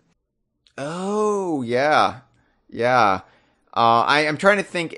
I know Live and Reloaded added a lot to like the surrounding area and spooky, like just outside of. the Yeah, and I'll have things to say about that next episode. But I, I'm just wondering if it like gave any illusion. I can't remember if it gave any illusions to because it's been a long time since I played Live and Reloaded. But if it, if it gave any like specific references to that was where the gargoyle might have originated from. Mm, yeah um you, you you get a real sense of place throughout the game and so for as much as we said it was like it seemed to be improv and tossed off there was they did lot, put a lot of effort, a lot of it, thought Yeah. yeah put into it uh where where it counts so basically this this whole sequence with the gargoyle is just designed to teach you to like to, for you to get the frying pan Mhm. as, as your primary Well, weapon Hmm, this is one thing I noticed in that Conker's not learning stuff in this section. Like the the the broken bridge, he's like, "Wait, how did I do this again?" And he remembers how to high jump and helicopter twirl. And then when he's chasing down the key, he goes, "Wait, didn't I have a?" And then he digs around in his pocket and pulls out the frying pan. And it's sort of harkening back to the fact that Conker is already a platforming mascot and has had had adventures before yeah yeah um, yeah and he's he's remembering how to do this stuff as he sort of gets over his hangover it's sort of like in Grunty's Revenge, where like Banjo forgot his moves because of a side Mm. effect of time travel, and that was how they kind of explain. He's he, he has to kind of relearn his stuff along the way. This is just Conker getting over his hangover, and he happened to have a frying pan on him from some some drunken escapade the night before involved a frying pan and he still had like it's just kind of a, a tossed off joke like why would he have a frying pan? Why do you do anything when you're blind stinking drunk? But it made sense at the time and i was Yeah, going to use it as a weapon. Pretty much. Yeah, um and even even the gargoyle laughs at this. A frying pan uh and and when conker tries to attack him with it um because it's it's really not much of a weapon but um it is that uh incredulous laughter that clears the way as the gargoyle tapple eh, gargoyle topples off of the bridge he's been sitting on and blocking your path. Yeah. Yeah. And then you're in the main central hub of, of the game after that. Uh, you, you cross the bridge and you're in the windy area. The, the chapter Yeah. is windy. Um, but uh, th- this this is sort of your your Grunty's lair, your DK Isles of Conker's Bad Fur Day, in that this is this is the the the hub where you pretty much access everything, and you constantly Mm, yeah, return to it. much. But, I think you know, there's there's one chapter that's not directly accessible from Windy in that you have to go through a different area to get to it, but the other seven chapters of the game are accessible from here. and Windy also it, moves along the storyline and Hmm. and it changes slightly like you'll return to Windy after uh completing a chapter and there'll be new characters or new events happening.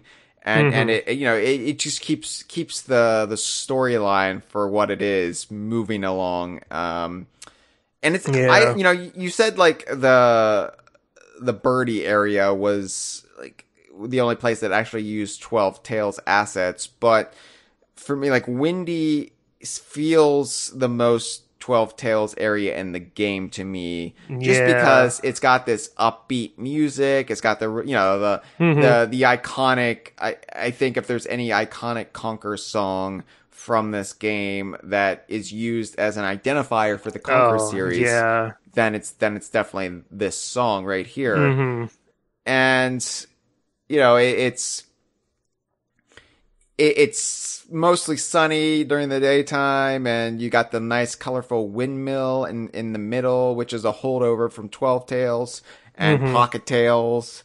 And um yeah you've got all of these as i said degenerates hanging on the margins of windy. But windy itself is generally a somewhat pleasant place to be sort of.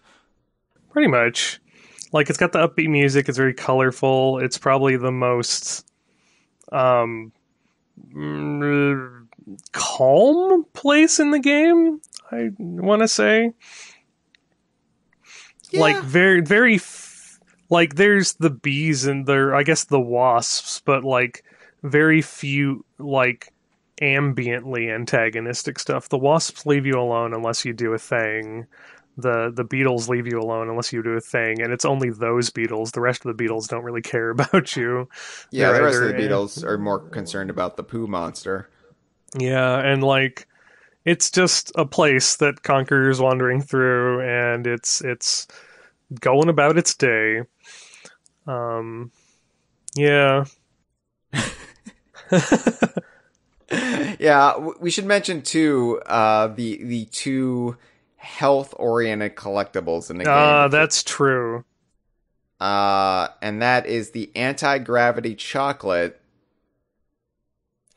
and I squirrel for- tails. Yeah, I forgot that the professor was behind the anti-gravity chocolate. Yeah, it's such again a fucking piss take. It's Uh, it's a literal throwaway gag. yes because the professor he's just invented this chocolate that these chocolate bars that float. And and he's just like why, why do i even have this? Why did i even do this? He throws it out the window. And i guess he throws enough of it out the window that he just spreads it across the land where Conker can collect it to replenish his health. And and just the fact that it like directly hangs a lampshade on the trope of video game collectibles that float for no Mm-hmm. reason. Uh, we're gonna call it anti-gravity chocolate, Yeah. invented by a mad Nazi, and there it's actually the only such thing in the game. Everything else is very grounded. Like the squirrel tails we mentioned are all hanging on stuff in the Yeah. game on like like signposts or hooks on the wall or whatever. The anti-gravity chocolate's the only thing that floats around like a traditional game power up. And and Conker even comments at various points in the game once he gets some decent food that like oh god good I was getting sick of chocolate. Sure, stuff yeah, like that. yeah. but yeah, a- anti gravity charge. I like to like just the the weird nature of like Banjo is is a bear, so he he you know honey replenishes him. Mm-hmm. The donk the the Kongs from Donkey Kong 64 they love fruit, so watermelons. Okay, Yeah, sure. Uh, Why and not? then Conker is a squirrel, so not no chocolate. Chocolate. Yeah, Yeah. I wonder because in Twelve Tales and Pocket Tales, he's got like an acorn meter, and I Yeah, really wonder how they got from there to a chocolate bar. I think it must have just been an in joke or just them trying to subvert expectations. Like, yeah. what what if what if it's chocolate? What what if like- chocolate heals you? I I like the nice segmented nature of it in that like you're breaking off Hershey squares as you take damage Yeah, and and stuff and gaining them back as you eat more chocolate squares. But like it's just so stupid. yeah, pretty much. I mean, I think pretty much anytime we have a question, why did they? We can just sum it up by it, they thought it was stupid, therefore funny. Yeah. Yeah. but the squirrel tails, okay, so this is where the game really, again, revels in being convoluted nonsense. Yeah. So the squirrel tails are. The, he's never really explained why there are so many squirrel tails hanging around, but squirrel tails are the lives in the game. mhm. Interesting that they went with lives in the game because, like, again, Donkey Kong 64, um, Banjo Tooie had already been getting away from Yeah, the concept especially- of lives. And yeah, like they're almost superfluous because if you do actually game over and you you pick a like you you get booted back to the main menu and you choose play again and it just drops you back in at the checkpoint you would have respawned at with your next life anyway with three more lives. I think it's just they wanted to play with the tropes, and, Hmm. and at, at this point in 2001, lives and game overs were still very much a trope in video games, Yeah. a holdover from the arcade days, and they they just wanted to have fun with it and kind of like comment on on the ludicrous nature of it and have these in universe like reasons for why this is the way it is and and so this afforded them the opportunity to make act the literal grim reaper death himself a character in the game who you know you you can go throughout the whole game without dying. And then the first time you meet Greg the Grim Reaper will be in the spooky chapter. Or you can die beforehand and meet him uh, the first time you die. You uh, if you die the first time then you are whisked away to this afterlife realm this kind of like purgatory uh, gray zone where you meet the Grim Reaper, who is named Greg after Gregg Mayles, by the way. So um, it's funny too because so many people at Rare, when talking about Bad Fur Day or or the Conker Mythos, just refer to him as Death, and, and I'm like, where did Greg come from? Because I know Greg came from Rare. I know that name came from Rare because it's Greg. It, mm-hmm. it's spelled like Gregg Mayles with the extra G on the end, and Yeah. it- I've seen it referenced as such through official Rare things. So, but it's just funny that that name doesn't stick with the people who actually worked on the game. Yeah, it's weird because like in game he c- introduces himself as Greg, but all other material refers to him as Death or the Grim Reaper, and it's like, okay, Yeah, he gave us his name. Yeah, like let's let's respect it. Uh, but Greg, he is a stout little Grim Reaper who's Conker sized, and obviously, right? Like we we say, Grab by the Ghoulies exists in the same shared universe as this, and that game also introduces a Grim Reaper. And there are a couple different explanations for how this can be, but the one I prefer is that Greg is the Grim Reaper of animals like cats and woodland critters. Mm. He's specifically the dog catcher of Grim Reapers, Yeah. and he hates it. He hates his life, and you know he hates cats. He's always ranting about cats and their Mm-hmm. nine lives and all of these stupid rules about who gets to come back and who doesn't. And one of the stupid rules, complete like not based in any mythology, not based in out of anything other than this being a game starring a red squirrel and we're going to play with video game logic. Red squirrels can cheat death if they have tails to turn into the Grim Reaper when they die. Then they have to come back. That is a weird bylaw in in the whole Grim Reaper uh, occupation. Yeah, it's very just again dumb and ludicrous. Yeah, yeah, yeah, absolutely. Uh, but it works, and you know, you mentioned how it's funny that Greg is this outsized character in the fandom and in some like materials, but he appears so little in the franchise. Mm-hmm. And and yeah, like I've equated Greg as like the mumbo jumbo, like the breakout star of Bad Fur Day. But he's not really. He's not yeah, really there much. He he appears the first time you die, and then he appears in the beginning of Spooky. And if you don't die before that, he's just kind of there. Um, and that's it. And yeah, he was gonna apparently be the main character in Getting Medieval. Um, and he's he's one of the Minecraft skins, but that's it. I guess he was he would have played a big part in Other Bad Day. He was going to be a bit of an, an antagonist in Other yeah, Bad Day. Yeah. He was he was tired of Conker cheating death all the time and he was going to do something about it. Which I, I don't like that he was going to be an antagonist in Other Bad. Like I because I think he's a fan favorite character. A lot of us find him endearing, and it it I think it it would be kind of an inverse of what they did with Mumbo, where they kind of made Mumbo a more cutesy, uh, friendly f- character instead of just this ambiguous, kind of spooky weirdo.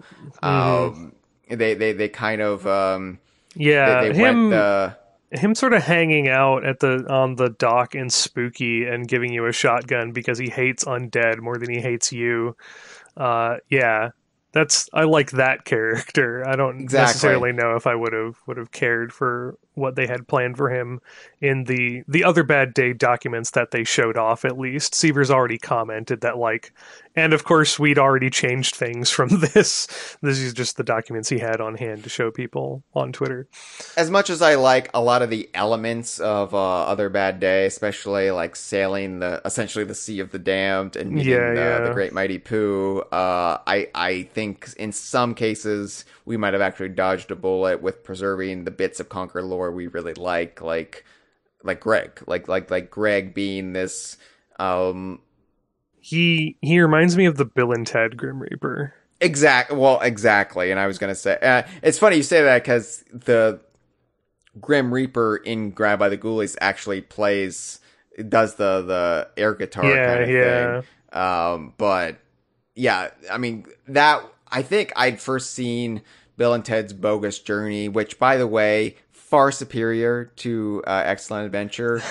Fucking don't care. I don't care. It's the better movie, but um, I I seen that movie for the first time because this is also 2001 was the advent of DVDs where DVDs were really starting to mm. catch on. I got my first DVD player and was just like buying DVDs left and right because oh my god, this is amazing technology and and all of these all of the stuff was coming out on DVD, TV shows included. This is where the the ability to actually binge TV shows first came into vogue and I was like I got like the first couple seasons of the X Files and I was like, "Oh my god, oh my god, I can watch this whenever I want. this is incredible." But I got Bill and Ted's Bogus Journey I think at Costco and uh watched it, loved it, and my favorite character absolutely was Death because I mean he he was just like a grim reaper who is kind of worn down by his job and eventually becomes somewhat of an ally and uh, just this likable like working stiff, you know. And uh, Greg was kind of our version of that for Conker and the DKU. And uh, so I, I I'm still very defensive of his character. Honestly, on my on my cork board right uh, next to me, to, to the left of me on my wall, I've got uh, a sticker of Greg drawn by our own Cameron Regal, just cursing, and uh, he's just right there because I like the character so much. I wanted him on on my DK Vine yeah, cork board. he's pretty great. Anyway, uh, so yeah, th- those are the the life giving mechanics of Bad Fur Day, both Mm-hmm. nonsense in their own right. But but Windy itself, there are little set pieces that that occur in Windy Mm, yeah, that's a good throughout the adventure. Um, throughout the adventure, you you have to do different things in Windy that kind of uh, move things along. Uh, and initially, there is the our introduction to the royal drama of the Bee family. Yeah, yeah, so much royal drama in this game. Yes, And- this is this is more equivalent to the British royals in that it's just a lot of a, a lot of like eye rolling nonsense here between the the king and the queen. Yeah, and I think this is this is famously the scenario that they first voiceovered with the new direction, isn't it? Mammy, you would you would know more than I would. Yeah, I think this this hive retrieval was sort of the first go at the new direction after uh, the Bad Fur Day pitch happened, or maybe in the course of the Bad Fur Day pitch as they were sort of seeing how it would go. And it's um, you you come across the queen bee who is uh, next to an empty like hive box slot uh, weeping her eyes out because the hive has just been stolen by a bunch of hooligan wasps and you need to go retrieve it. And it's, yeah, it's really straightforward. You go up the path a bit and she's like, oh, where do I go? And she's like, oh, just follow the arrows. They'll show you. Very, you know, again, lampooning video game tropes. Um, you you grab the hive you stay moving because the wasps are chasing you and stabbing into the ground after you with little looney tune springy noises. And you get the hive back to her. And uh, it it opens up into like a machine gun battery and she guns them all down in bloody glory. And yeah that sort of sets the tone I know I've said that a couple times, but it's like, oh yeah, Tex Avery cartoon goodness combined with blood and guts. Yeah, it, it's subverting expectations and immediately letting you know what you're in for pretty much throughout the whole game from this point on. yeah, And, and it, yeah, yeah, not and then there are there there are the beetles, the dung Yeah. beetles, it. Yeah, uh, which which become kind of reoccurring characters up Yeah. through up through the the the Mountain sequence. I was was ruminating on this a bit in that the the game is partially due to multiplayer and partially due to the fact that like the latter half of the game is the more popularly well-known portion but like most everybody remembers like the the squirrels the teddies and the weasels as like the main races of the game. They're the ones that show up in multiplayer. They're the ones that are focused on in Live and Reloaded. They're the ones that show up in subsequent entries in the series. Uh, they are largely completely absent from the first half of the game, which is populated by uh, various species of bee and beetle.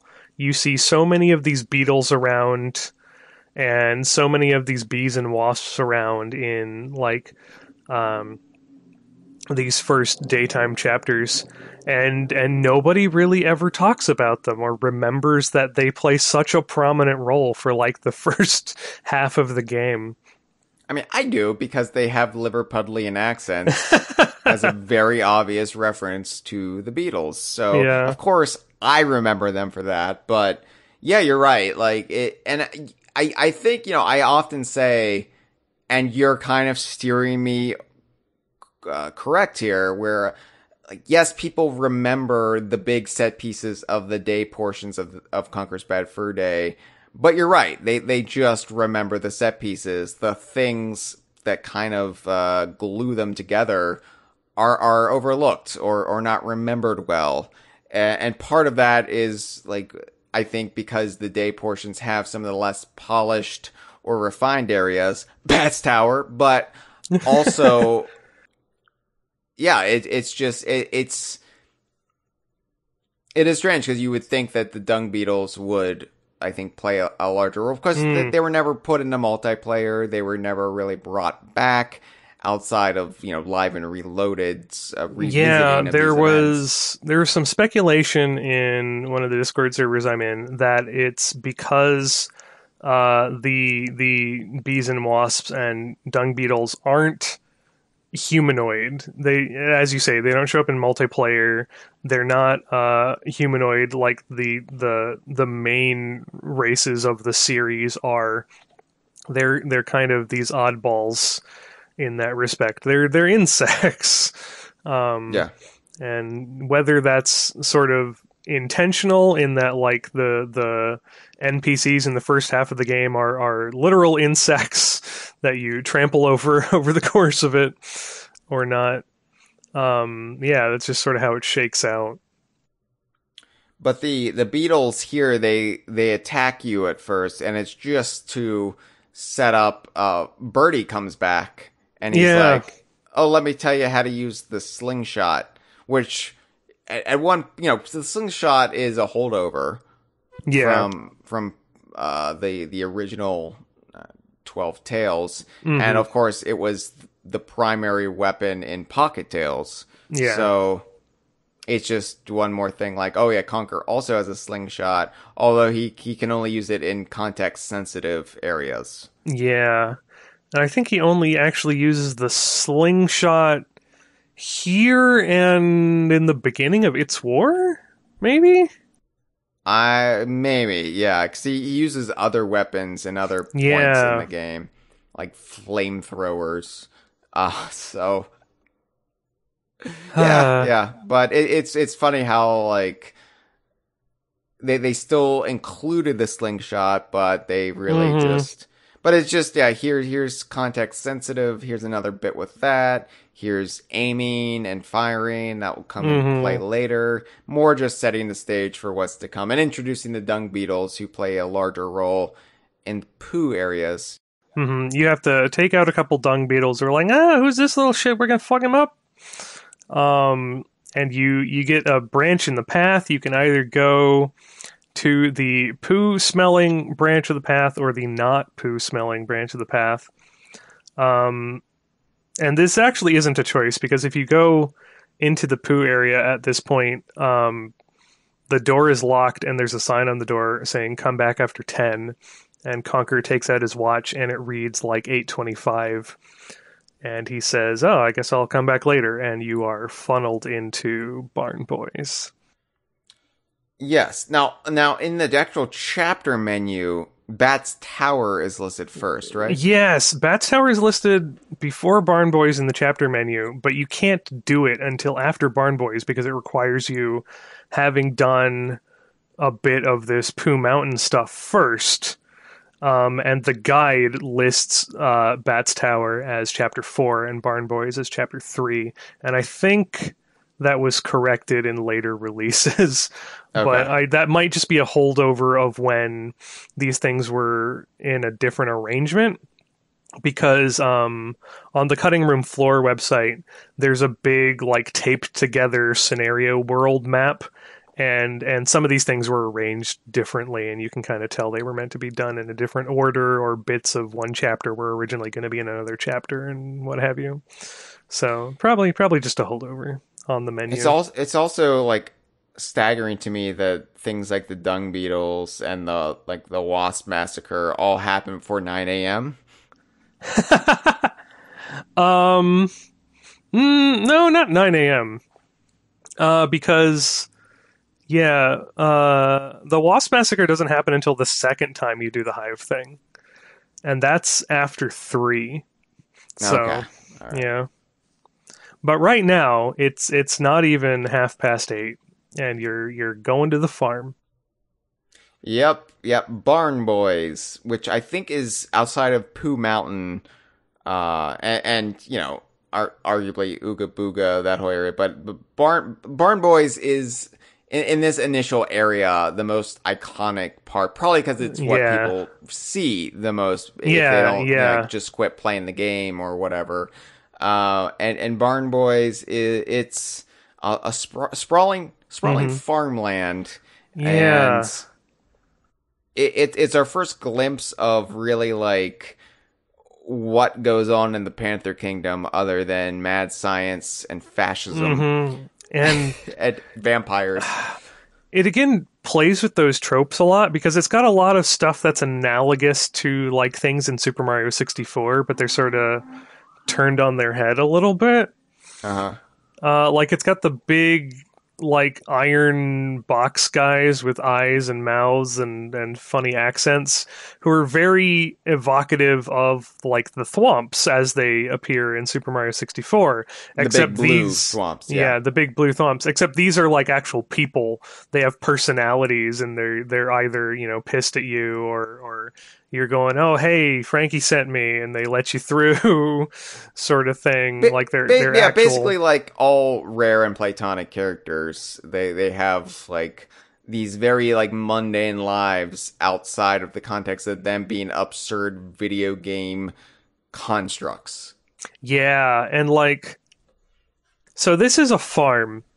I'm not sure what the farm is for. You you speculate in the notes that it, it was maybe a cheese farm because you got that little penned off area with the cheese, but you'll notice that like the the area around that penned off bit is a quarry of che- a quarry. Yeah, uh, speaking of words I can't pronounce properly, a quarry that it looks like the ch- the cheese bits have been mined out of. And this is supported by that that cutting room floor scenario map where there was originally a back half to this area where you'd have to go up through the cheese mountain and have a confrontation with the cheese king and and like mine out the cheese that you were going to bring down. the the way I understand this is they they might be like obtaining the cheese through whatever means, but the cheese is basically it, it's anthropomorphic cheese, cheese with googly eyes. So the cheese is essentially livestock. So in in this weird world where you have googly eyes attached to things and granite life, assuming we're we're gonna attach ukulele logic to this, then the the cheese is essentially the cattle. So they're like che- they're at some point they become cheese wranglers and they feed them hay, which also has googly Mm, eyes. Yeah, I don't know. I was thinking the the the barn might be for the hay because it's in there, and just the fact that like this isn't the only DKU location with googly eyed hay. We also see it in uh, Diddy Kong Racing, in uh, Windmill Plains, where you've got a bunch of windmills and googly eyed hay bar- bales that are watching you fly by during your race Yeah. uh, sort of grazing out in the pastures, which is another reason I think that like Timber's Island is situated at least nearby. so if not, uh, uh, yeah, they're they're they're definitely nearby. They're trading partners for sure. but yeah, I mean, it, I, I I think it's a cheese farm. That that's going to be my um. hmm, maybe they feed the cheese to the hay bales. Or Or so you you think it's a hay farm that they feed cheese to the Yeah, hay, and then yeah. the hay is their export, and they export it to Timber's Island. yeah, that's what I'm Okay. guessing. well, whatever the case, it doesn't really fucking matter because uh, the the cheese uh is, is there. So there's there's a Marvin the mouse is Yep. is re- one of the first characters you encounter in this game, and basically Marvin is a glutton for cheese, and and Marvin is uh I guess a bit of a problem for the farm in that he's kind of like the the wolf or coyote preying on the cheese, the livestock, Yeah, and Conker is kind of has to deal with Marvin if he's allowed to progress uh, through this path. yeah. One of one of the big not thwomps is scared of Marvin, and is sort of uh, hiding out on another one's back, and he's like, "Hey, if you take care of Marvin for me, I'll I'll help you out. Just go up to the the cheese ranch area and say I sent you, and they'll let you in." sort of thing. Yeah. So how do you deal with Marvin then? Uh, you you go up a a tricky little path that is being thwomped upon, and you have to uh, frying pan some of the cheese in the cattle area because it screams and runs away from you on sight.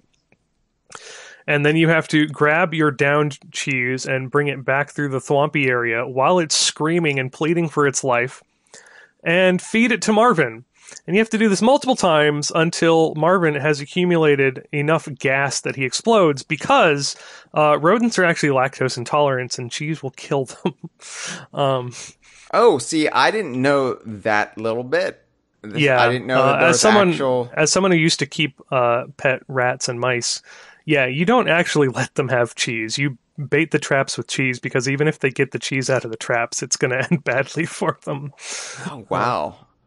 All right. Well, um, as someone who's also partially lactose intolerant. Oh yeah, same I, here.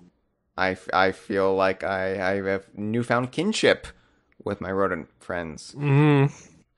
Uh, yeah, so it's funny because I just realized that there are two characters in this game that the whole like way of getting rid of them is just let them be a glutton and it takes care of itself. Mm-hmm. You say take care of um, itself. It, it it incapacitates him at most because yes, he explodes in a bloody mess, um, but it doesn't actually kill him. Doesn't kill him. He comes back at the very end of the game, stitched together. And so, even even his parts are still just kind of sitting there blinking at you. So yeah. So even though Conker's Bad Fur Day can be heartless in parts, they didn't have it in them to completely off Marvin the Mouse. He yeah he, he was taken into surgery and got better somewhere along the way. Maybe this um, was another one of the professor's experiments into immortality or something. No, I, I just think that for all of its faults, the Panther King has really good health care. Uh, yeah, fair. Better than ours, at least. Yeah. It, it it might be it might be a terrible aloof monarchy being undermined by fascist teddy bears. But you know, it's, maybe it's maybe great. it's actually like the UK where the monarchy is just sort of there and they don't run things anymore. I mean, yeah, I, I guess yeah. so. I guess, yeah. Um, but yeah, yeah. So then you're able to progress into the actual barn, where you meet the titular barn boys that mm-hmm. the chapter is named after. And the barn boys are three like farm tools slash instruments that you might find lying around a barn. Mm-hmm. And they are Frankie the pitchfork, uh, Ron the paint can, mm-hmm. uh, who's full of paint by the way, and Reg the paintbrush. Yep. And Ron and Reg are a bit of a pair, obviously. And they gang up and bully poor Frankie, who Frankie has the voice of a rambling hick. Uh, he he sounds like what I would imagine Redneck Kong would sound like had we actually got Redneck Kong oh, into the God. canon. Oh god! Oh Uh, well, well, Frankie, the golly concern it, derp, derp, derp, derp, derp, derp, derp. That was surprisingly accurate. Yeah, I know. Well, you know, grew up around it all my life. So, mm. uh, Frankie is basically being bullied by Ron and Reg into killing himself because this game gets dark fast. And yeah, so Frank, like, it's it's funny like looking back at this 20 years later because i'm like well that probably wouldn't fly today because we're a lot yeah. more sensitive about these issues we're a lot more sensitive about these mm-hmm. issues wouldn't use that term anymore yeah uh all I'll say to that, because it, come, it comes up a couple times, especially here in the daytime portions, you know, humor evolves over time and mm-hmm. our perspectives on things evolve over time. Even like the most progressive people 20 years ago went, might not have a problem with some of the stuff in this game. Yeah. We, we change our thinking over time and I, I I think that's fine. That that is human progress. We are here on this planet to evolve uh spiritually, mentally, to get better, to become better people. So, you know, it is what it is. I'm Even- I, I Even Chris Seavor had a bit of a "Oh God, no" reaction when asked if he would make the the same game today. sure sort of thing. It, like I I don't uh, my fear is that people will hold it against the creators from from their perspective of today versus I mean most of most of the things in the game are mild at best. Like oh yeah we wouldn't do that today because clearly we think in different terms today. We've we've gotten we better. So hmm yeah, but but he is bullied into killing himself, and the joke being that he has a pitchfork, and when he goes to hang himself from the rafters, well, he doesn't have a neck, so he just hangs there because he, he Yeah. is a stick of wood, and uh, so I mean that's clever. Uh, so, Mm-hmm. but uh, so Frankie just hangs there for a bit, Yep, you like leave you him come hanging. back to that you come back to that um that that just all set up cuz cuz there's this this whole other bit um because you have to get up into the rafters to basically get them down. And this is where i struggle with the chronology here. Um Yeah. the You- bit with the sunflower. Okay, so you you can actually approach this in in a, a couple different ways because you you can actually get up into the rafters immediately and get yeah. um get Frankie down and do the initial assault on the hay bales, which then releases the the what we do not yet know is the haybot. Um, uh, because Frankie's run off because Conker's saved him, and Ron and Reg are still being little shits, and Frankie decides he doesn't need them anymore. And it turns out that Frankie was the only one keeping the big murderous hay bale at bay, and they're like, "Oh shit."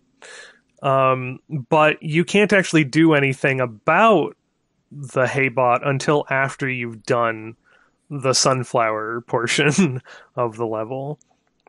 so let's talk so- about the sunflower Yeah.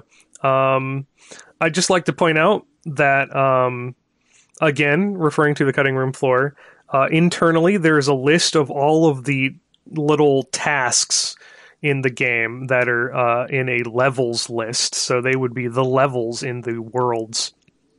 And the sunflower is referred to as Babe in those lists. So, um, every other NPC is referred to as by name, so I think it would be disingenuous to assume that she is not also being referred to by name in these level Babe. lists. Uh, yeah, so she is a voluptuous, uh, well endowed, um, You got stamens Busty. like you wouldn't believe. yeah, uh, a, a- sunflower with big breast. And Yep.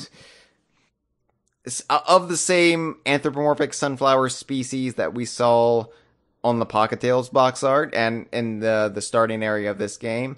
Uh, only she's got big breast. And the King Bee, Mr. King Bee, um, he, he, he's been kicked out, kicked out of the hive because he's been lusting after the sunflower, Yeah. wanting to pollinate her. Yeah, we should Wink, we should wink. mention the reason the hive was stolen back in Windy is because the king is not around, and the king is not around is because he's being a bum over here trying to figure out how to get this sunflower in bed.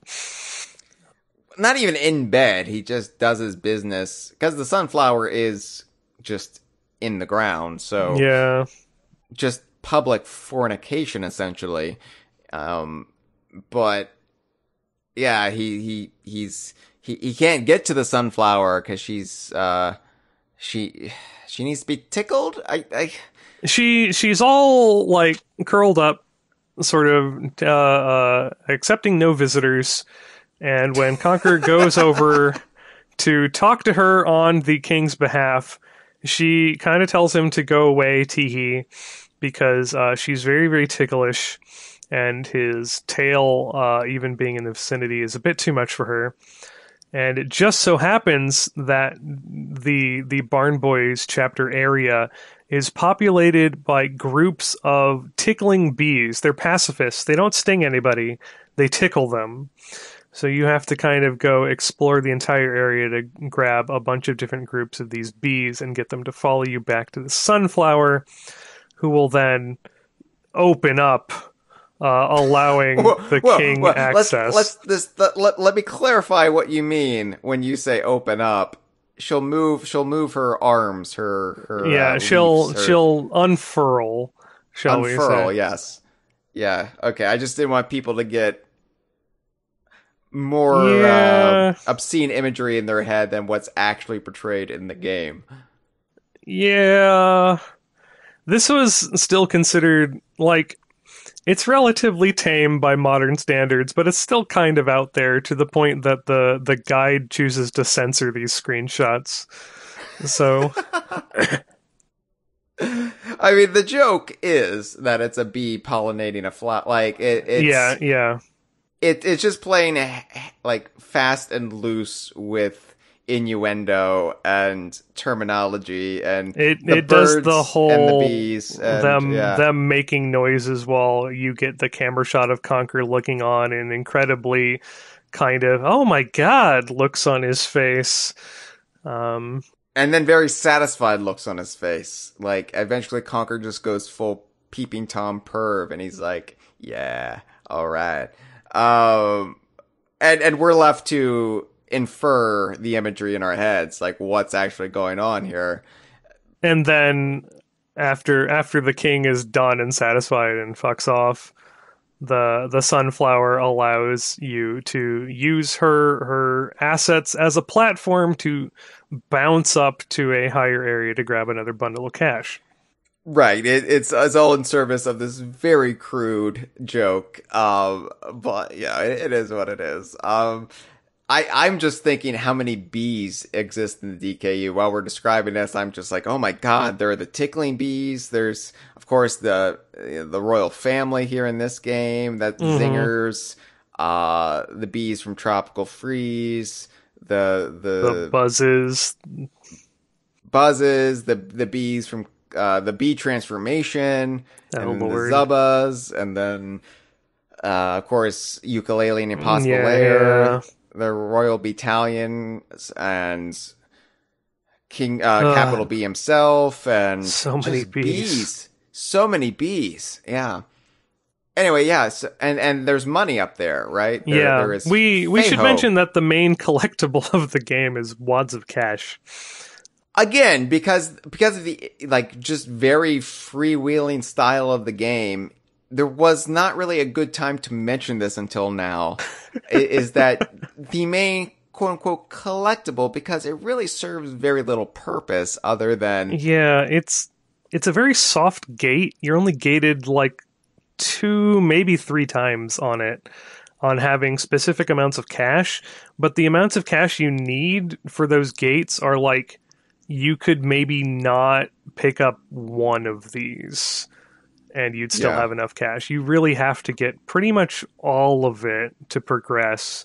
It's not really a like, well, if you've gotten 70% of it, you can move on like you can in like Banjo or Mario. It's yeah, you you pretty much pick these up as you go. You're railroaded into most of them. Some of them, yeah, you can leave behind. Like you could do this sunflower thing and then not bounce up there and get it. But like why would you not do that? So yeah. yeah the, the, the money the, the official term for it is feho but it's just it just uh wads of cash with googly eyes Googly eyes and cigars. You want some of this green stuff? Yeah, it's fucking weird. Like when when you look at the currency in the DKU, you got banana coins, bear coins, various forms of treasure, and then here in the Panther Kingdom, you have American style dollars smoking Mhm. cigars. Yep. Uh, everybody else is on like the coins, like and and here they've got bills. Uh, hmm Anyway, yeah. So so from from from this point you can you you know, you you can do the full sequence with uh fr- from uh, roasting the bats to yeah, once uh, you get up into the, Haybot. rafters, there's a nice little gag where some bats are, are hanging out in the rafters, and one of them's like, "Hey, hey, who's that?" And the other one's like, "I can't fucking see. I'm blind. I'm a bat." Uh, and um, do you actually roast them here? Or do you just throw knives at them? don't remember. I I get because the bats. I I forget usually that there are bats in the barn. I Mhm. associate the bats with uh spooky. Yeah, they're so inconsequential here. Like I literally only think they're here so that them showing up later in Bat's Tower can be the follow-up pun. You know? Yeah. Um so there's some bats, they make a pun. They don't really impede you at all. You get over to the rafter where you can contact sensitive pad to throw some knives at Frankie's noose to let him down and then he is eternally grateful to you, much to to Conker's annoyance, and helps you take out these uh, wandering, googly-eyed barrels of hay. And then you kind of have to fight the big, tough barrel of hay, who's got like a James Bond villain voice. Ah, my nemesis has arrived, sort of thing. hmm Um, only once you defeat him, you like f- the floor cracks and you fall into the basement, and you kind of assume he's dead, but he gets back up, and now it's a Terminator pastiche. Why why is there a killer robot cyborg in a hay bale? Why is why is there a haybot in general? We discussed this again on the comparison on the first world bosses mm-hmm. episode. Uh, I was on that episode, and you know, my whole thing with the Haybot is I think I always inferred that he was this like weirdly advanced security system for the barn. Yeah, But- I'd I'd buy it. But also, he Um, views Frankie as his nemesis. Because He- he, associate he identifies as hay, and so Yeah. a pitchfork would be his nemesis. But Yeah, th- this is probably the highlight for me before the Great Mighty Poo of the game. yeah. this, this whole boss fight, jumping on Frankie. Um, I, it's it's nice to see Conker collaborating with one of the Mhm. weirdos in this world. Yeah, it's a nice culmination of sort of all of the bits and bops you've learned up to this point kind of comes together in this boss fight. The context sensitive actions, the the using different bits to your advantage and and making like quickly learning new control schemes as you hop on a vehicle because that's what Frankie is in this context. Um and and it's a nice cool boss fight. Um I should mention that the music in this game is is fucking amazing. like Yeah. I this has one of the better DKU soundtracks up to this point. Um, Robin Beanland did a stupendous job with this soundtrack, and and here is no different. you know, really- I, I, Really sets the mood. I'm sure I'll be talking more about Robin Beanland's soundtrack throughout uh, the the Spotlight series because I feel like I've talked more about his contributions to the writing on this episode. But Robin Beanland, you know, I think for a lot of Rare fans, especially like Rare fans of this era, Beanland is weirdly overlooked. Um, yeah, people really gravitate to David Wise and Grant Kirkhope, and for obvious reasons. I mean, Yeah, they're yeah. amazing composers as well. They've they've got very identifiable styles, though, uh, or at least they have been sort of identified as like people gravitate towards um, what what's seen as their styles. They, they're they're both capable in their own right of deviating from said styles, and they have even at Rare. But you know, David Wise has kind of got that new agey sort of synthy, um, atmospheric sound. Kirkhope has kind of got that very upbeat, um, sort of cartoony driving, um, sort of way about his music and Beanland is harder to peg down. As we've said on the Kongversation before, Beanland is more of a musical chameleon. And he, I think because of that, a lot of fans don't like they'll they'll they'll like his music, but they won't really like talk about him as much because it's it's not so much like you hear a song and you're like, that's Robin Beanland. Uh, you can kind of hear it in places like, especially with Sea of Thieves. There are some Sea of Thieves songs uh, in the last three years where you're like, that kind of sounds like Conker, But it's rare that you really can can kind of peg Beanland down in, in that way that you can a Wise and a Kirkhope. So I think Yeah. he's kind of overlooked, but I think it also speaks to why he's head of music at Rare now, uh, because he's kind of capable of just going all over the place. That's true. Yeah. I do. There are some bits of the Sea of Thieves that recognizably, to me at least, sound like parts of the Conker soundtrack. And yeah, it's Yeah. probably because of him. Um, Especially the uh, the the ghost ship battles, really, uh, they're they're invocative of spooky and and I was actually thinking the Merchant Alliance jingle that plays when you get near their stand sounds like the introduction to the game. just the harpsichord. yeah, yeah. It, Yeah, I wonder if it's the same chords leading into a different medley. Um, I don't know. yeah. But yeah, he does an amazing job on this soundtrack. Yeah, But yeah, Yeah, cool boss fight. You're you're right. Yeah. It is a highlight. and and it really makes me like the character Frankie more than I I thought I like. The, when when I think back to Bad Fur Day, Frankie is not a character that really registered with me at first. Yeah. But I'm like, yeah, Frankie's a solid character, and I Mhm. like that he and Conker had a little bit of a moment. Mm-hmm. Yeah. And this this harkens back to like Conker not being as bad of a person as people make him out to be, because like there's nothing really in it for Conker when Conker helps out Frankie. Like yeah, he doesn't ask for any money. He's not expecting any money out of this. He just helps out Frankie. um, I I feel like Conker is deep down, deep down, Conker is a good person. yeah, but he's pulled in all the wrong directions and he, at this point he, he has a view of himself where maybe he doesn't want to be the hero he he he wa- he, he kind of wants to be um more of a hard edged case than he actually is Mhm. and and I where where like Conker like helps out the broken Frankie and tries to reassure him.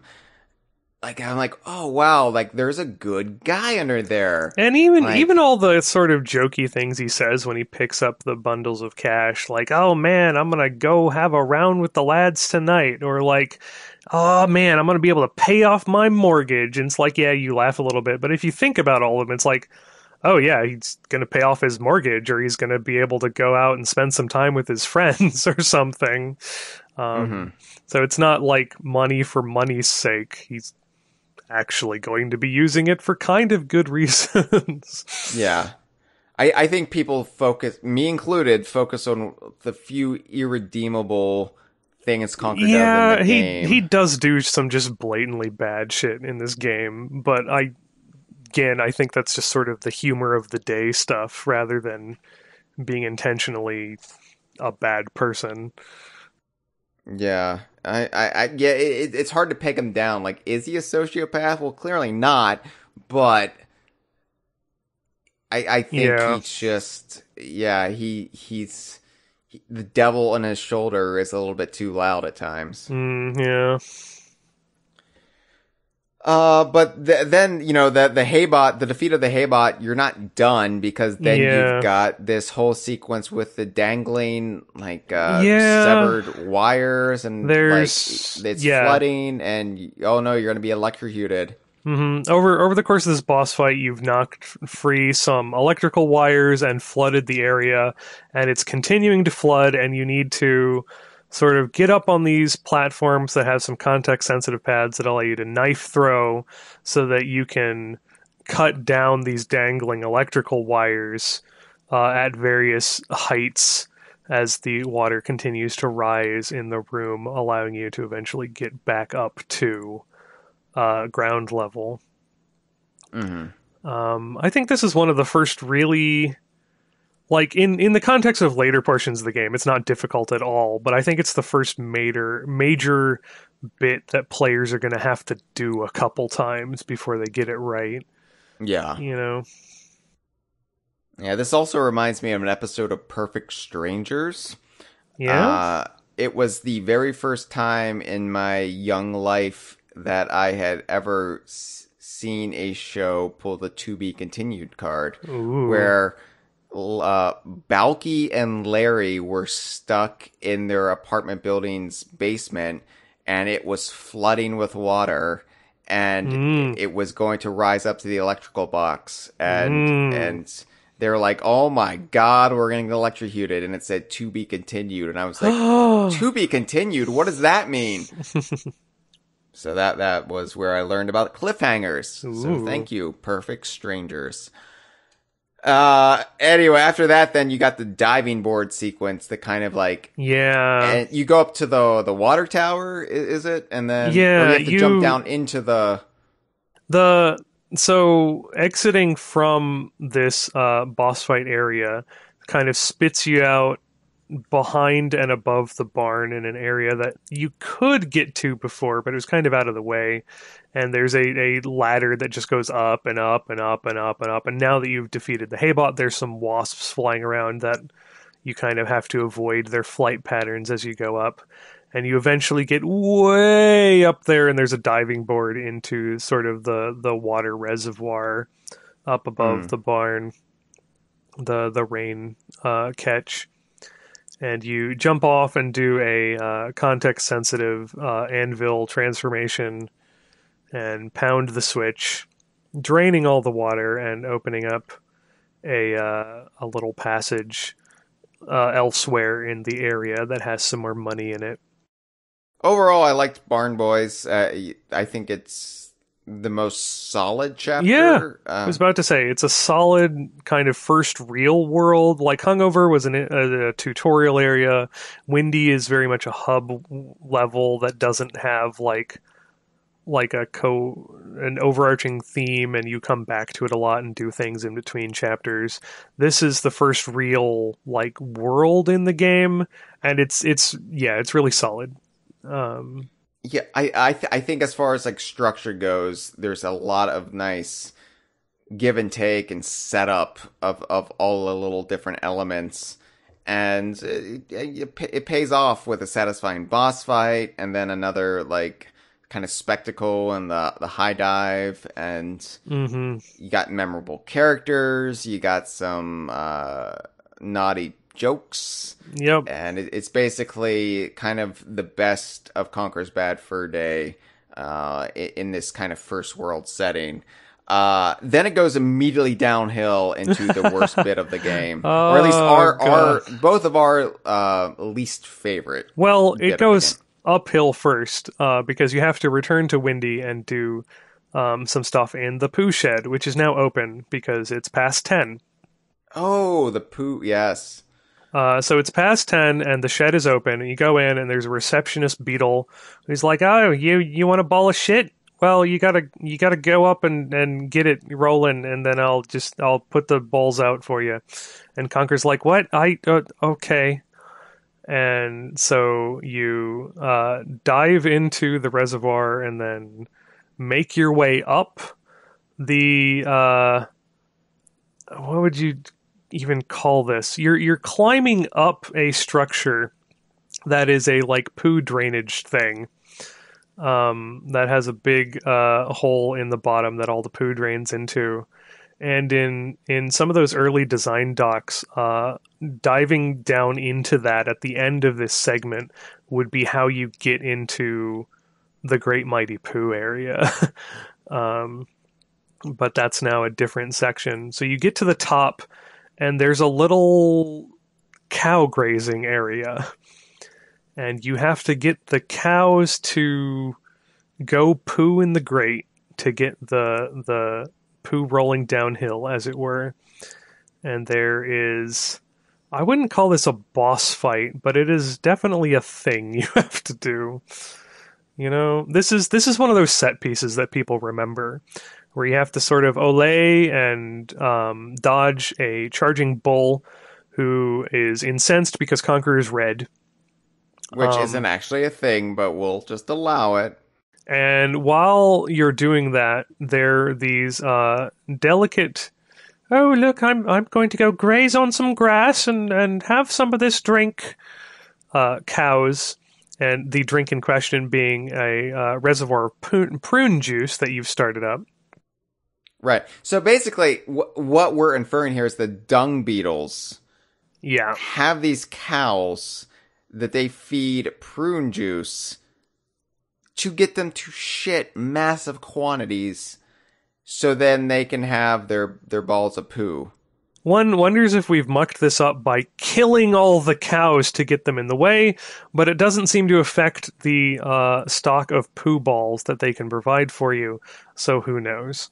Yes, because you have to get the get the uh, the, the the the cows once, get gored. yeah, once once each cow's done its business, you get it out of the way by goring it with the bull. Right. I again just wanton murder for murder's sake.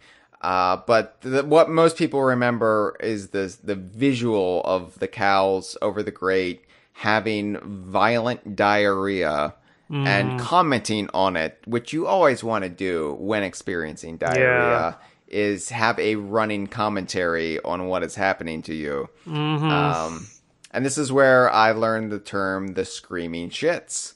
So thank you. that is the the Robin phrase Beeman. that sticks in one's mind, certainly. Oh yes, yes. Um, uh, so and yeah, once once you've completed this little sequence, this game is a big stickler for doing things in sets of three.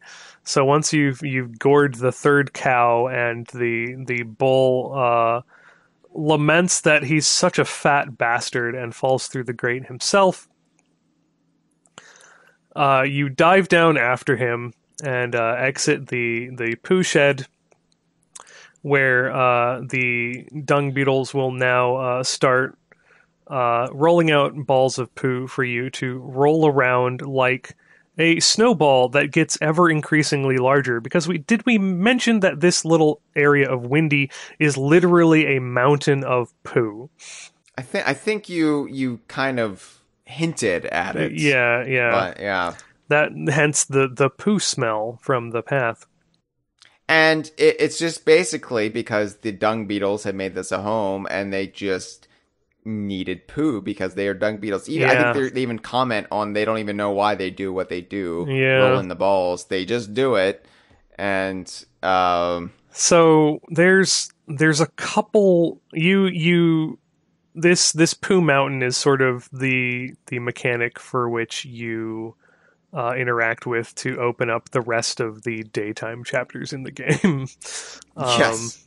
Rolling a ball of poo off to the side and pushing it over the edge will cause it to fall on a uh, patrolling goblin guard, uh, allowing you to slip past him and hit a switch, which will cause a whirlpool to start up, uh, getting rid of all of the sort of uh, aquatic mine goblin guards, allowing you to get into the entrance to the Bats Tower chapter.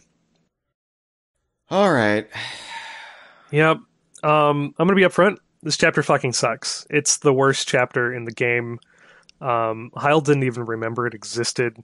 It's just I bad. If it's not bad mechanically, it's bad content wise. And I and- remembered it existed. I couldn't remember. I had to look up and see if it came uh, before or after the Soprano chapter because I was like, it, it takes place somewhere after Barn it's Boys. it's very forgettable, and the longest portion of it is if you've only played Live and Reloaded is a non-issue because they they fixed the bit that makes it frustrating. Um, the swimming bit. yeah. Uh, so so the main framing conceit of this entire chapter is you've got a bunch of prim and prissy, uh, uh, snobby lady catfishes who are are treating Conker like the help and are offering him a pittance to go um, do something about the dogfish that is guarding the uh, vault that they are keeping their money in. Right. I mean, th- this is just where we're at. We have catfish, right? So let's introduce dogfish. I'd just like to point out that dogfish are a thing and they're a type of shark. Um, I, I know, I know, but the way it's portrayed Yeah, in yeah. game, it's it's just a literal. it's yeah, it's very much the dog from like Tom and Jerry cartoons, except on a fish Yeah. body. Um, Again, this is where the Conker being uh, inspired and influenced by Western animation really, yeah, uh, and really like comes into play. so you you swim down the way you avoid the dog shark um, and you swim down into the section and come out in the titular bats tower. Um, this section's also bad and is kind of completely divorced from the whole catfish thing. And my theory given the structure of it is that this was originally going to be the windmill. Oh, really? because well so the setup is you've got some some cogs on a wall and there's some missing cogs powering this mechanism and there is a mill that you have to run around and spin in the middle of it after you've gotten these cogs back and then climb your way up this tower that now has this uh, mill machinery operating because the cogs are in place to get to the top of the tower and flip this switch, which reins in the dogfish outside, allowing the catfish to get past him and for you to get to the vault. Um, and just the whole setup of it, it's like you're it's the inside of a mill. It's very reminiscent of the inside of the windmill you see in Twelve Tales footage, where Conker had to run around on the plate to operate the mill to get it spinning. Um, I I think this was going to be the inside of the windmill, and it got moved over here for some reason. What what do you think Bats Tower is though in the context of the game it's itself? What what's established? What is it in the political realm of the Panther Kingdom? That's a good question because, like, who are the goblins working for? I I've tried to rationalize this as maybe the the goblins slash uh, imps, the the armored fellas, uh, like maybe they also work for the Panther. yeah, because like the the weasels are working for the Panther King and or is the professor. Um, and the goblins the goblins are again only really in like the first half of the game. yeah, Um, there there are some uh, goblin NPCs in It's War, but they're not bad guys. no, they're you have to kill them, Yeah, but they're they they just They- they, just happen to have they- TNT yeah. barrels strapped to their backs. and like the goblins are otherwise just sort of patrolling around and don't actively attack you. They hurt you if you try to attack them, but they don't get in your face otherwise. It's it's hard to say. And like the according to the the guide and other supplemental material, those monks are also goblins. So like they're just another race here. But again, they kind of Yeah. disappear after the first half of the game. So Yeah, I, I can't tell if this like Bats Tower is this like older piece of architecture that the goblins have taken over. Um, like maybe it like dates back to the Milk Wars. But yeah, I they've got their own thing going, or if they're in direct, or if they're like more of a local police force, or I I I, I don't know. Yeah, I don't know. Either way, uh, this tower is populated by bats and cogs. Um, the the cogs are, um, they're problematic. Uh, yeah when when i when I mentioned earlier that some of the stuff you know that we're going to talk about doesn't hold up 20 years later i was thinking about the cogs yeah, Uh, this this entire section of the chapter is either uh, rape jokes, rape jokes, gay jokes, or gay rape jokes. Um, a little bit of a gay panic too uh just Yeah. like yeah that kind of underlines it all yeah um carl uh, is is the the kind of gruff, um, chauvinist um, version of the cog, but then you flip him over and he's got another personality, uh, and and it's Quentin who is, you know, uh, Stereotypical flamboyant gay men.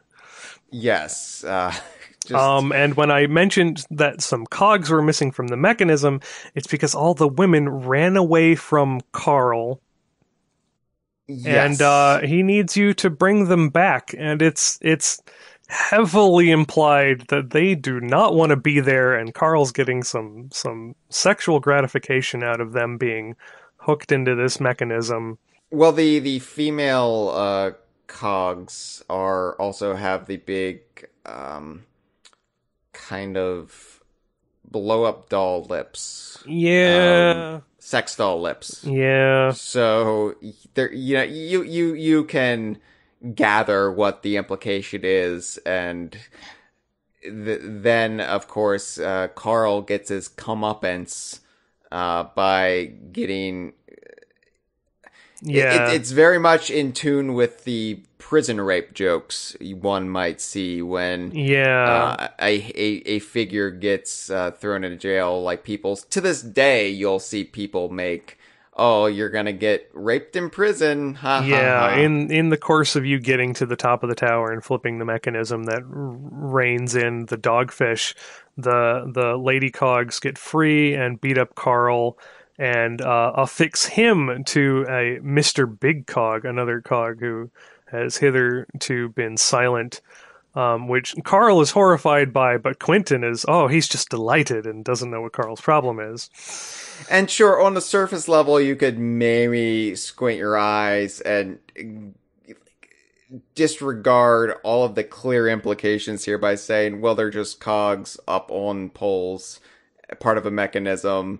But given that they are anthropomorphic and given the clear implication of what's happening, what the joke is supposed to be, uh, it, is it, it is honestly the most problematic part of the game that Yeah. you you you really like you're kind of just like oh wow oh god And then Quentin sort of- this game shoos you away. He's like, "Oh, I think your problem outside's been taken care of, and you should leave now, so I can enjoy myself," sort of thing. And it's just Yes. the whole section is so divorced thematically from what's going on outside with the catfish and stuff. Like they don't even Quentin doesn't even mention it specifically. He just says like whatever your problem was outside has probably been taken care of now. Um, which is another reason I think that they was sort of just kind of cut and pasted from a different area of the game. hmm Um, but yeah, you leave. The dogfish has been reined in. The the catfish uh, enter in the combination, such as it is, to get into the vault. Um, and you get in to retrieve their money, but the money doesn't trust you, so it dives into the um, drainage system in there. yeah yeah Um, and and I, uh, this is where the content is no longer problematic, but the mechanics of the content fucking sucks. Um, it's problematic in a whole new way where you still want to die experiencing uh, it this section took me reasons. three days because I kept getting really, really frustrated with it and putting the game down and trying. I don't think it took me that long, but it definitely. Uh, props to to I think it was Cameron pointing out that the pipes you need to go through next have uh, co- f- colored flashing lights on them to signify that Mhm. that's where you should go. Before our, uh, that was pointed out to me, I was just getting lost down there. Um, that's that's not even the frustrating part. The frustrating part is that Conker starts drowning like immediately underwater, and you have He- to go through very lengthy swimming periods, making it to the next little like air bubble supply, and or else you just die. Like once once you run out of air, which isn't a visual meter, you just get like a mugshot of Conker holding his breath, and he gets gradually like more distressed. So it's not like I do love that meter though because Yeah, it it's- so it's- wonderfully animated. except like I had to see it so many times. and like um one of the reasons a lot of people don't remember this bit is because in Live and Reloaded, they like tripled Conker's lung capacity, so he just doesn't start drowning immediately. And so this this whole section is trivial. Well, I mean, it it's Conker remembers having greater lung capacity. Yeah, um, yeah. when he reflects back on the events uh, in 2005. But yes, and it's like like the the bit after this is fine and probably like the only standout section of this entire chapter but this this actual swimming through multiple sets of underwater piping that look exactly the same that have enemies swimming through them that will hurt you uh, and also make you waste some of your air meter as you wait to get out of the being hurt underwater animation. And just, yeah, it was very, very frustrating. Um, uh, once you get through this section, though, you come out in the boiler room, which again is one of those set pieces of the game that people actually remember, and one we've alluded to before. um, because this is the bit where Conker gets drunk and starts peeing on fire imps. and someone at Nintendo loved this. We'll just leave it at that. But yeah, this is uh, this is also a nice little uh, nod to Twelve Tales and Pocket Tales because it's got the one piece of music that Yeah. was uh, uh, in both uh, that's been repurposed for this. Uh, just Conker, which Now, pretty much maybe Yeah, tells you what they think of that. But uh, yeah, it's Conker urinating on fire imps, and you know, I love that. You know, Jeff uh, our- Jeff Onan, our our fellow DK Vine staffer and uh, friend as well. He is a friend. Uh, he says that Conker will never get into Smash Brothers because he is a squirrel that pisses on people, and I think that that's too dismissive at times. But yeah, Conker pissing on people definitely is an aspect of him that came back after this game, It- and and I love that here he's pissing on antagonists, but in Big Reunion he has to piss on a friend. uh, last time this happened, I wasn't even on fire. um, Big Reunion is funnier than people give it credit for. Oh, it super is. Um, yeah, you have to. There's there's a bunch of little fire imps being crewed, and you have to get tanked.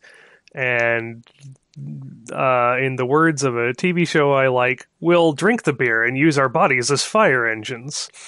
Um, and that's what Conker does. And once you have extinguished enough of the little fire imps, two of them will scurry into the boiler in the center and boot it up like a mech, except it is also prescient and very posh and has big bowls of brass. Mm-hmm. Um, and a boss fight ensues. And um, doesn't this guy look like the boiler in Isometric Palace? Uh, Bernie. Yeah, he's got like the same face. Yeah, Do boilers maybe. just all look the same in the DKU? or in the UK. Maybe. Yeah, uh, fair. Um, yeah. but yeah, a, a boss fight ensues where you have to um, drain some some stuff on top of the boiler as he runs around and tries to stomp you, and then uh, go up and uh, clap his his big brass what's its with some bricks. And uh, he'll he'll scream out in a high pitched voice multiple times as you go through this boss fight and then you uh, get to roll them around later as a puzzle solving mechanic after the boss fight. Yep, just more of, of Bad Fur Day's humor. Yeah, yeah, and you know, it's um, I'm I'm disparaging a little bit. It is a fun boss fight. the The boss fights are pretty solid in this game, actually. They are, the they most part. are for a game that's not remembered much for its boss fights. It's got some solid boss fights, yeah, and I think that's something that you know I I said even Donkey Kong 64, I think had solid boss fights. Um, as disparaging I am towards that game, but it, Mhm. it is something that, uh, DK64, Banjo Tooie, and Conker's Bad Fur Day, I think all had some of the more fun boss fights on the N64. Yeah, they were pretty pretty good. Um, after this, you you go down one last hatch, and eventually gets you get spit out back in the entrance to the vault chamber, where the money has finally stopped running from you, and allows you to take it out. Um, but it turns out to only be ten dollars, and the cats were going to give you a ten percent cut. Um. Conker says he's going to keep all of it and just kind of stands by as the dogfish finally escapes its leash and starts viciously tearing the catfish apart while Jaws music plays. Yep. And this is not off screen. They do a cutscene every single time he catches a catfish while you are swimming back to the entrance to the chapter.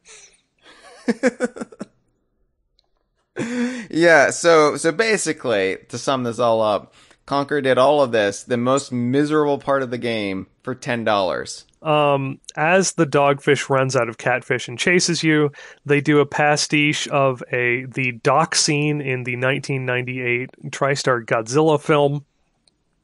Uh, with the, Classic reference. I got it, but I own four copies know, of that I- movie. So I know, but like even like even four years after that, roughly, was that like a movie you were like, yeah, you know what we should homage? The American Godzilla. well, okay. with To be Matthew fair, Broderick. that was the one scene they played in trailers and previews a lot. Um, so that was The probably on on television a decent amount. The- that the- particular the, scene. the only two things I remember from from that movie, the promotions from that movie were the tagline "Size does matter" because that's the first time I ever heard that reference to penises, and to the Taco Bell tie-in with the Yep. Chihuahua. I think I'm going to need a bigger box. Um, yep. Yeah, here lizard, lizard, lizard. Here, lizard, lizard, lizard. Yep.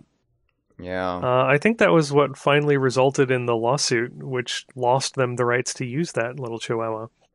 really? Uh, yeah, they were using that character without permission. Turns out. Um, Okay. yeah. Uh, they they'd commissioned it for an advertising campaign, but uh, didn't actually own the character and kept using it anyway. And I think it was the Godzilla promos that eventually resulted in the uh, creator finally having a big enough thing to point at to go, this is really costing me some money, them using this without permission. Uh, but yeah, you you get up on the dock and the dogfish chews through it and slams himself into the wall, and you can then use him as a platform to get up to a little loft where there are three bundles of cash. So you actually net yourself like three hundred and ten. Wait, no, there was some money in the tower as well. So I think you make out of this chapter all told with like four hundred and ten more dollars in your belt or something Still not like worth that. it. Yeah, not really. But you know, I, I will say this is this is like the only true low point. Like looking at what's ahead after this, uh, Yeah, like there's memorable sequence after memorable sequence. The humor like isn't even like problematic in the same. Yeah, like the, it's this is- truly the only thing that doesn't hold up in the harsh light Mm-hmm. of 2021 is the whole cog bit.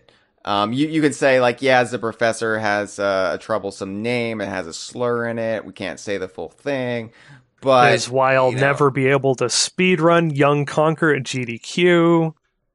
but you know, it, it's it's it's really just you know that that little cog bit. If if we could edit that out, I think a lot of Conker would still hold up today. Yeah, pretty much. Even just changing the context of the cog bit, like changing the dialogue, would Sure. fix it. Honestly, Yeah, um, yeah. But what what is timeless and classic and will never go out of fashion? Singing operatic poo men. Yep. You you exit the uh, the Bats Tower chapter, and you're back next to the poo Mountain, and you have to do some more poo rolling up the mountain this time instead of off the side of it. And uh, once you get it to the top, uh, you can push a bundle of poo in, which falls down through the innards and blows out the boarded up entrance. So you can now get in. And going in, you are treated to a short, uh, sort of slasher film pastiche cutscene where a, a uh, dung beetle trying to escape tells you about all how all of his friends were picked off. Uh, and he, when he came out of hiding, he found out that they'd boarded up the entrance, and he's been trapped in here for weeks. And he escapes, and a a mysterious voice tells you to bring me some sweet corn. So, what more can be said about this that hasn't already been said or thought by It's, anyone uh, who's played this game or experienced this game? It it is it is probably the most iconic element from this game. Yeah, I Sure, believe you- it's billed in the credits as Chucky Pooh's Lament. Uh, right. So, is his name Chucky Poo? Uh, Officially. I don't know. I think he's referred to as the Great Mighty Poo in all material. That's what he calls himself in the song. Um, Because I know like that might uh, that Pooh might be his last name, and his first name's Chucky. I don't know. Right. Like Uh, I know on DK Vine we've we've since Conker's Bad Fur Day came out because of that uh, credit of, of Chucky Pooh's Lament. The character itself has been classified as Chucky Pooh yeah, in in like our databases and everything since then and I've always kind of hated that name because everybody knows him as the Great Mighty Poo um and it's weird whenever we we were like eh, Chucky Pooh it's like let's see like so I've I've started to just call him the Great Mighty Poo, even if Chucky Poo is his official name it's like yeah. this is what people know him as this is what the song refers to him as yeah. that iconic song, uh, sung by Chris Marlowe. Uh, it should be pointed out, Chris Marlowe, who's still at Rare today. Still does some collaborations with Chris Seavor. I think he helped out on Rusty Pup a little bit. Uh, Mhm. which led some people to erroneously think he had also left Rare and joined Gory Detail, but that is not the case. Um, but yeah, And Chris Marlowe yeah, "I'm working work, worked on Sea of Thieves, and he is also a very uh, affable gentleman. Uh, I had the pleasure of meeting him when I went to Rare, and he serenaded us, I think, three times with with the song. Um, he do, he doesn't need much poking and prodding if you ever meet him in real life to bust it out. yeah, Uh, he's he's more than happy to do so. He's busted out on stream a number of times as well. You're right. He Yeah, it doesn't take much to get him going. it is weird to see the song being sung by a human man rather than uh, a, a poo beast. Yeah, uh, the the Beast of Pooh Mountain, as the manual says. There, there's a little bit before the fight starts proper, where you have the giant hands coming out of the poo pools to slap around for uh, anthropomorphic pieces of sweet corn uh, that you have to toss him, and I believe Live and Reloaded reduces the amount of sweet corn you have to toss in. We have to go do this at three different pools before the fight starts, and it's a sing along. There's lyrics um, displayed, and a little back and operatic back and forth between uh, the the mighty Pooh and Conker. And you have to throw uh, bog rolls into his mouth at various points during the fight. It's weird that, like, in the context of a living poo creature, the, a poo creature really enjoys eating sweet corn. Like, I I understand the connection and the context, but it's like the the one thing, like something that humans have trouble digesting, and it just passes through in a, and remains in our stool. Um, Yeah, that a, a, a, a, an anthropomorphic piece of poop would get any enjoyment out of that. Uh, TV Tropes speculates in its fridge logic section that maybe this is why he's so massive, is he's he's continued to ingest pieces of sweet corn that just kind of build onto his body mass. I should also point out this is not the only time we see anthropomorphic poo in the DKU. uh, Grunty's Revenge again, second time I've referenced Grunty's Revenge in this episode, Hmm. has actual poo characters in Spiller's Harbor. They're they're called the the Squits. And yeah, it's it's surprising how bits of Conker bleed out into other rare properties from Donkey Kong 64 to Grunty's Revenge and so on. I mean, it's a shared universe, and for as much as some creators try to deny that it's a shared universe, by the nature of the way these games were made and the back and forth between the teams and the the you know reuse of characters between the different games, they built a pretty damn good shared universe. Mm-hmm. And so you'll have like yeah, there's this Beast of poo Mountain, but poo creatures do exist, Mhm. like smaller, more gentle poo creatures. Yeah. you have to help out. Uh, so I mean, weasels and poo creatures pop up elsewhere in the DKUs. They sure do. Oh my god. Um yeah, and once you defeat him, you go to the second room of this chapter because this is its own chapter. And mm-hmm. it's it's it's another annoying swimming section, but it's actually really really short and air is very generous and like yeah, I think I died a lot, but they put a extra life tail right there next to your respawn point. So even though I think I spent like 15 minutes getting through these these whirling underwater fan blades, it wasn't really frustrating at all. You just kind of go through No. it and it's done. No, it, it's it's definitely not Bats Tower Redux. It, Yeah. it, it it feels more manageable. So and and like I kind of think of of Sloprano as just sort of like the boss of Windy because I know like um Nightfall after the next chapter is where like you get the major tonal and gameplay shift from like platformer to third person shooter but really this because you have to go through slow, slow prano to get to the next chapter Uga Buga. You don't return to Windy after Sloprano. Well, you have to return to Windy if you don't have enough money because this is one of those money gates. But if you've collected all your money up to this point, you have more than enough by a couple hundred to to bribe these guards and get through to Uga Buga. Mm-hmm.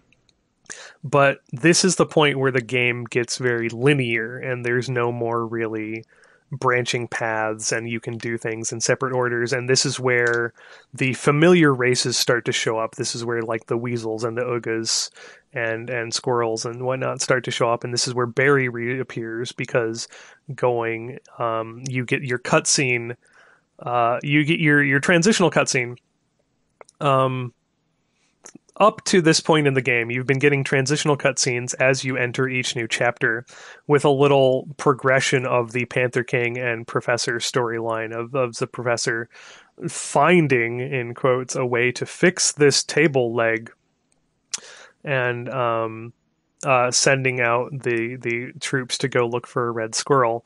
The transitional cutscene here is the first time we've seen Berri since the intro to the game and she answers the door thinking it's Conker finally having come home and it's one of the rock people from Uga Buga and he clobbers her and drags her out.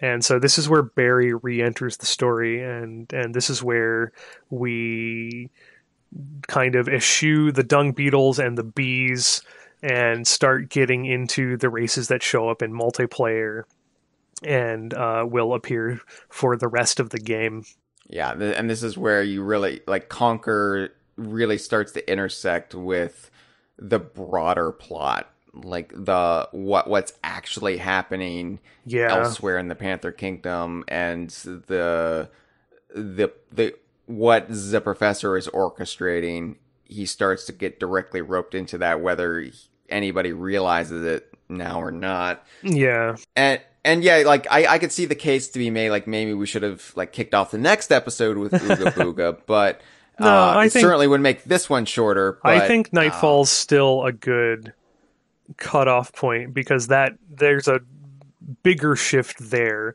but this is definitely like the the tail end of the daytime stuff. this is sort of the transition. Uh, I mean, this is also what where you see the sun setting. This is where the, Yeah. the tone it starts to take itself a little bit more seriously here. Yeah. Um, things feel like they have greater consequence, other than Conker being just uh, either a dick or meeting dicks. Yeah. it, it's uh, it's a Um, little is- bit more heavy from here on out. This is where his goals change actually because he's he's actually reunited with Berri here, so he's no longer actually trying to get home. Yes. Um, he's trying to to kind of meet up with Berri now that she is also out here. Um, but Berri is pissed at Conker. yep, pissed at Conker for being pissed. So and and so I'm a little bit foggy on this. I have my ideas, but the the rock people, why did they abduct Berri? Um, it is mentioned in the manual that they uh, like to procure go-go dancers for their club. That is literally it. Because I thought maybe the Weasel Mafia had a hand in this. In, the like, the Weasel Mafia has a hand in like the club, I think, Mm-hmm. in a background level. Um, but I don't think they specifically had a hand in kidnapping Berri, spec- like nefariously or something. Okay, because I thought maybe to procure the red squirrel, they got the, the the girlfriend of the red squirrel and brought her in here. So the Weasel Mafia. Ah, Yeah, yeah. All right. All right. Well, uh, Ooga Booga or Ugga Bugga, uh, Yeah, whatever. Uh, it, it is the prehistoric area of the. Yeah, And this is well- really where. it is like so.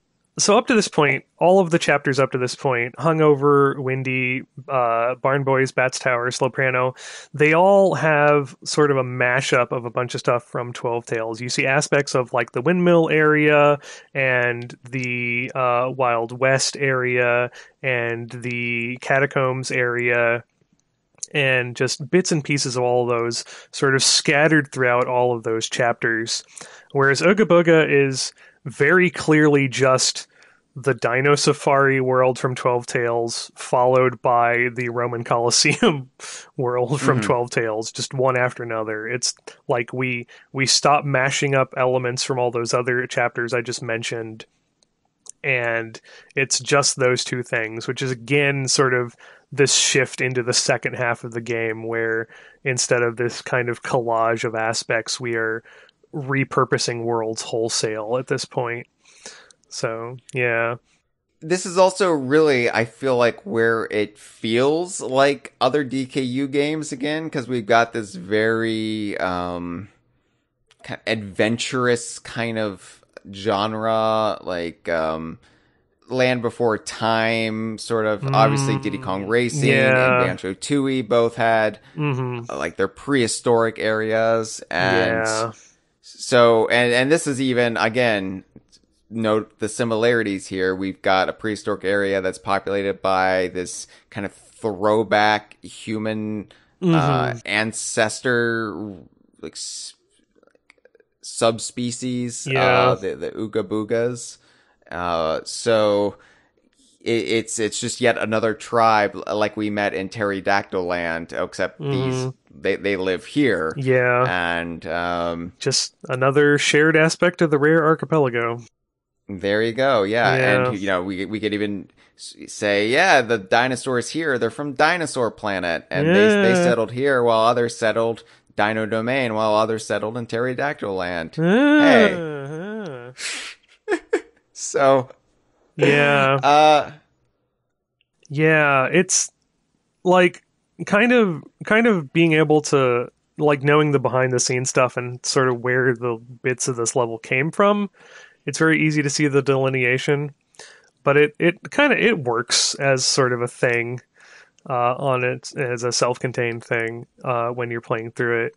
You you start out immediately behind Poo Mountain. You're sort of uh, uh, shat out, as it were.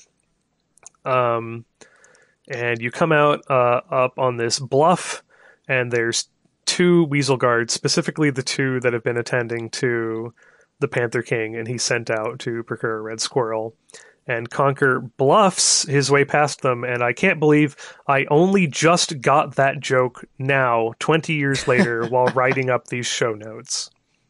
The bluff. honestly, I I'm never dumb. thought about that. I never thought about it in that term until just now. So you're not the Um, only one. Conker convinces one of them that he's an elephant while the other one is taking a piss behind a rock. um, and bribes them and goes past and then whistles and the money comes back to him. Um, and then you sort of get into I don't want to call it the hub of of Ooga Booga, but it's there's this little area that's in between the dino section and the nightclub section and it's got like a wall in the middle of it and and mm-hmm. one one half is populated by the rock guys and one half is populated by the little Oogas and you have to do some puzzle solving by like rolling one of the rock guys over to squash some Oogas who are guarding the way so you can get into the Ooga half of the world and mm, there's not actually a strong narrative for this first half of Ooga Booga. You kind of have to just sort of piece together what to do from context clues. Like there's this shrine with some dino feet indicators on it. And if you wander around, you eventually come across this dino egg you can hatch. And you're yep. like, maybe I should lead this dino over there. And like the dogfish before it, it viciously and graphically eats uh, the patrolling Oogas you lead it pa- by on your way back to this shrine. And if you operate the little switches, oh, you use the catapult here too, the slingshot.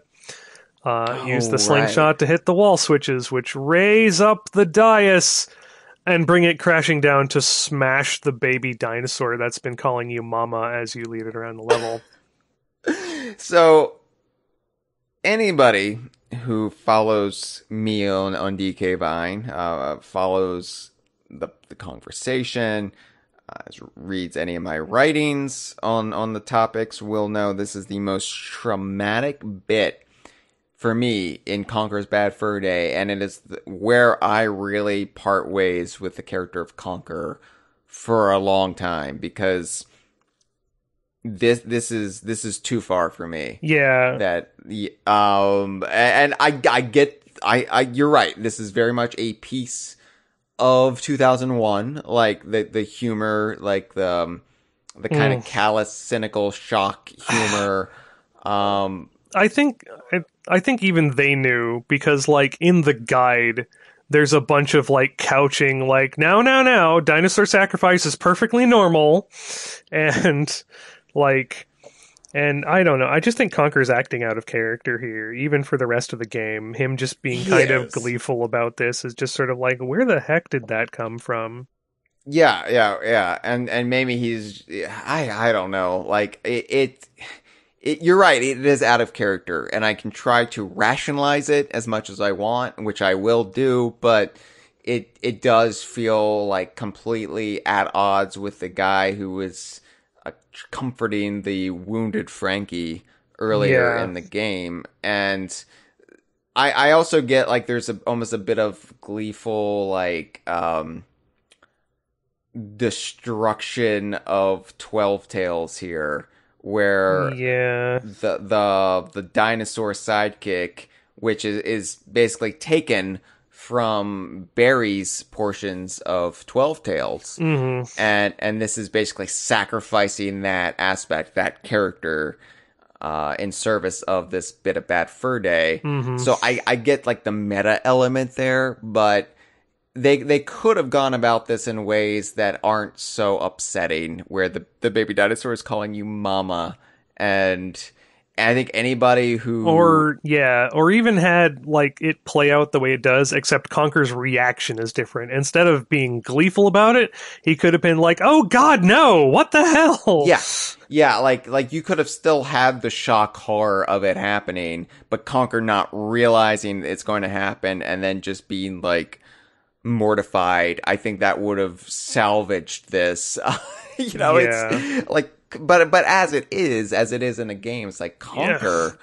What the hell, dude? Uh, Fuck you. Especially since just like a few chapter segments later, you're riding around on another dinosaur. They could have easily had it be the same dinosaur, and instead of getting smashed, he gets dropped down a pit, and Conker thinks he's dead, only for him to return in the Coliseum segment later, or something. Yeah. Like there there were a number of different ways they could have gone about this than how they did.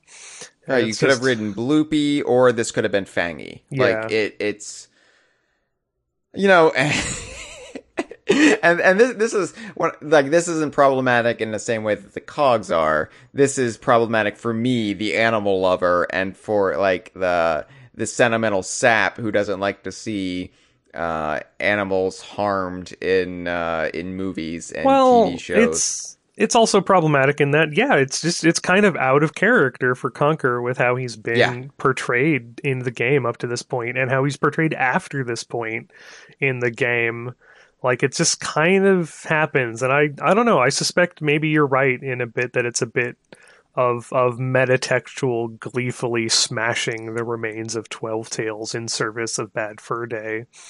Mhm. Um, because Bloopie very much is uh, Berri's little purple dinosaur companion um, from Twelve Yeah. Tales. So Yeah. yeah, And and so like whenever I hear people at Rare or or Chris Seavor explain like, well, Conker, he's merely surrounded by all of these uh, ne'er do wells and just uh, like complete assholes. Conker himself is not, and I'm like, but Bloopie.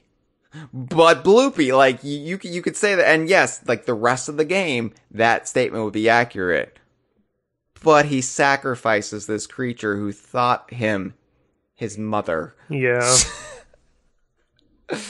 uh, so and, and you know, I mean, I, I like we'll, we'll move on because I know this episode is bordering on an obscene length, but uh, I, I, I, I rationalize it. This is like this is where Conqueror and the the stress of his day and you know fighting a poo monster and still not being home and I, I feel like this is where Conker is starting to break a little bit Yeah. as as a an individual uh his Mhm. morality is starting to bend quite a bit and he's getting to the point where he's like the ends justify the means yeah, and this is where like the karmic retribution the instant karma that will eventually uh hit Yeah. him hard at the end of the game um th- this is really where it it like starts to come into play like You're maybe you yeah. maybe you need Bloopie and the sacrifice to show that Conker is becoming a bit of a monster and Yeah, that that's another spot in which this chapter starts shifting things because up to this point, Conker's just kind of gone through things and helping people either altruistically or not altruistically, and he's he's made out the better for it. Um, but this is the chapter in the game where it kind of starts blowing up in his face a little bit. Yeah. Um, and yeah, so so that that blood sacrifice gets the giant like T-Rex head uh gate to open up after saying I am pleased. And um you uh need to to solve its uh gunky throat issue uh, by doing some pepper in its nose. It's unclear whether this altar is alive or not because it's a giant head and you go through it and there's some some mucus covered innards, but you come out the back and it's just like a stone passage. I Yeah. don't know. yeah Um, and you swipe one of a the the headdresses off of a sleeping Uga, so you're now wearing this saber wolf looking wolf hat thing that the rest of the Ugas are wearing. Uh, which allows gets them to acknowledge you as one of their own, and you can herd them around like a bunch of cats and get them to follow you up and lead them in a charge against the rock guys who are guarding the entrance to the nightclub. And you finally get into the nightclub after proving that you're a bad enough dude by murdering all of the rock people who were in your way. And this is where Conker's finally reunited with Berri, sort of. He sees her in the, the go go pit. I don't necessarily know if she sees him, but you have to uh, go around the nightclub area, um, getting drunk, peeing on uh, rock dudes who are just kind of trying to have a nice time, and rolling them onto switches to free Berri from her go-go cage. In some clubs, that would be a nice time. Yeah, I don't know. None of the clubs I've been to have gotten that wild. Maybe not during a pandemic, but Yeah. I have been peed on a couple times, but not at a club. Um, uh, yeah, like you, you free Berri, you grab some more cash, uh, you g- make to leave, and you are stopped by the bouncer who says the boss wants to talk to you. Mm-hmm. And this is the introduction of Don Weaso. Yeah, Yeah. and Don Weaso is kind of like the the third antagonist of the game, Mm-hmm. and he uh yeah he runs the Weasel Mafia, and also is the uh I guess owner of the club. he he's he's got his fingers in the pie at least he's he's has something to do with the operations here and the the Ugas encroaching on the rock people's half of the world is crimping into his operations so he wants you to run a bomb through He wants you to commit genocide. yeah, basically. Um, Berri passive aggressively uh, says she doesn't know you. She's kind of draping herself over Don Weaso in front of Conker. Conker's like, "Oh, hey, Berri," and Berri's like, "I don't know him. What are you talking about?" Um, which Conker's like, "Whatever about." He doesn't seem particularly bothered by this. He doesn't Uh, know. You but- get the impression that this is not the first time this has happened. Um, They're such a great couple. They're such a great couple. Um, you end up running the bomb through because Don Mitos doesn't really give you much of an option. um, because he's, you know, the mafia, he's the, the godfather. Mhm. Um, and you chuck it and it, uh, sets off the volcano that this has all been resting on, uh, which leads into, I know I complained about Bats Tower a lot, but fuck this next bit. So hard. You don't like the lava boarding? No, I don't like the lava boarding. It took me four hours. I liked it. I liked it all right. Okay. well, we all know Hyle's inclinations now. Look, I, I, I like that there's. I mean, why is there a hoverboard sequence in the prehistoric area? I don't. Know. I don't fucking know, but the music is a banger. If the music weren't so goddamn Yes. good, I think I would have been way more frustrated with this bit. Um, uh, yeah. Um, yeah, you the lava rises, Conker has to do a bit of an escape. He is promptly mugged by some Uga hooligans who steal all of the money you've accumulated up to this point, and you have to considering to their entire people and civilization was just wiped out, I can't blame them. Yeah. Um, they don't seem terribly bothered by it though. Uh, No, because everyone in this game is an amoral asshole, except for maybe Rodent. Yeah, rodents really the standout here. Um, yeah, you have to to race them in quotes to get your money back, and it's really uh, kind of whacking them with a frying pan during a chase sequence. You're you're doing you know Diddy Kong racing laps basically, um, and avoiding the fucking dinosaurs that get in your way. I swear, if those dinosaurs were removed, this this segment wouldn't be half as annoying. Um, but you get them all back, and uh, the the course shifts around as you progress further into to beating these hooligans up and getting your money back, and you get spit out in the Colosseum, which is lifted directly from the Colosseum uh, in Twelve Tales. Uh, where you would have fought the Cyclops, except now instead of Cyclops, he's got two eyes, and it's no longer Roman themed. It's been re reskinned to fit the prehistoric theme of the rest of the chapter. Yes, he's basically the the big caveman boss. Um, yeah, you you do a bit of a Colosseum fight. Um, in Twelve Tales, this would have been against um, uh, skeletons, sort of Jason and the Argonauts style. We we've seen footage of that, sort of this exact sequence playing out, but with differently themed enemies. um, you're you're fighting Ugas for the entertainment of the crowd, as directed by uh, Buga the Knut, as he's trying to impress Jugga with Colosseum antics. I am trying to say these names with a straight face. um, you you fight successive waves. Eventually, uh, Buga gets tired of you uh, being successful in your endeavors and brings out um, uh, Fangy, uh, Mhm. a, a raptor that I can't help but think is modeled after the live action Yoshi from the Super Mario Bros. movie. I'm fine with that. Yeah.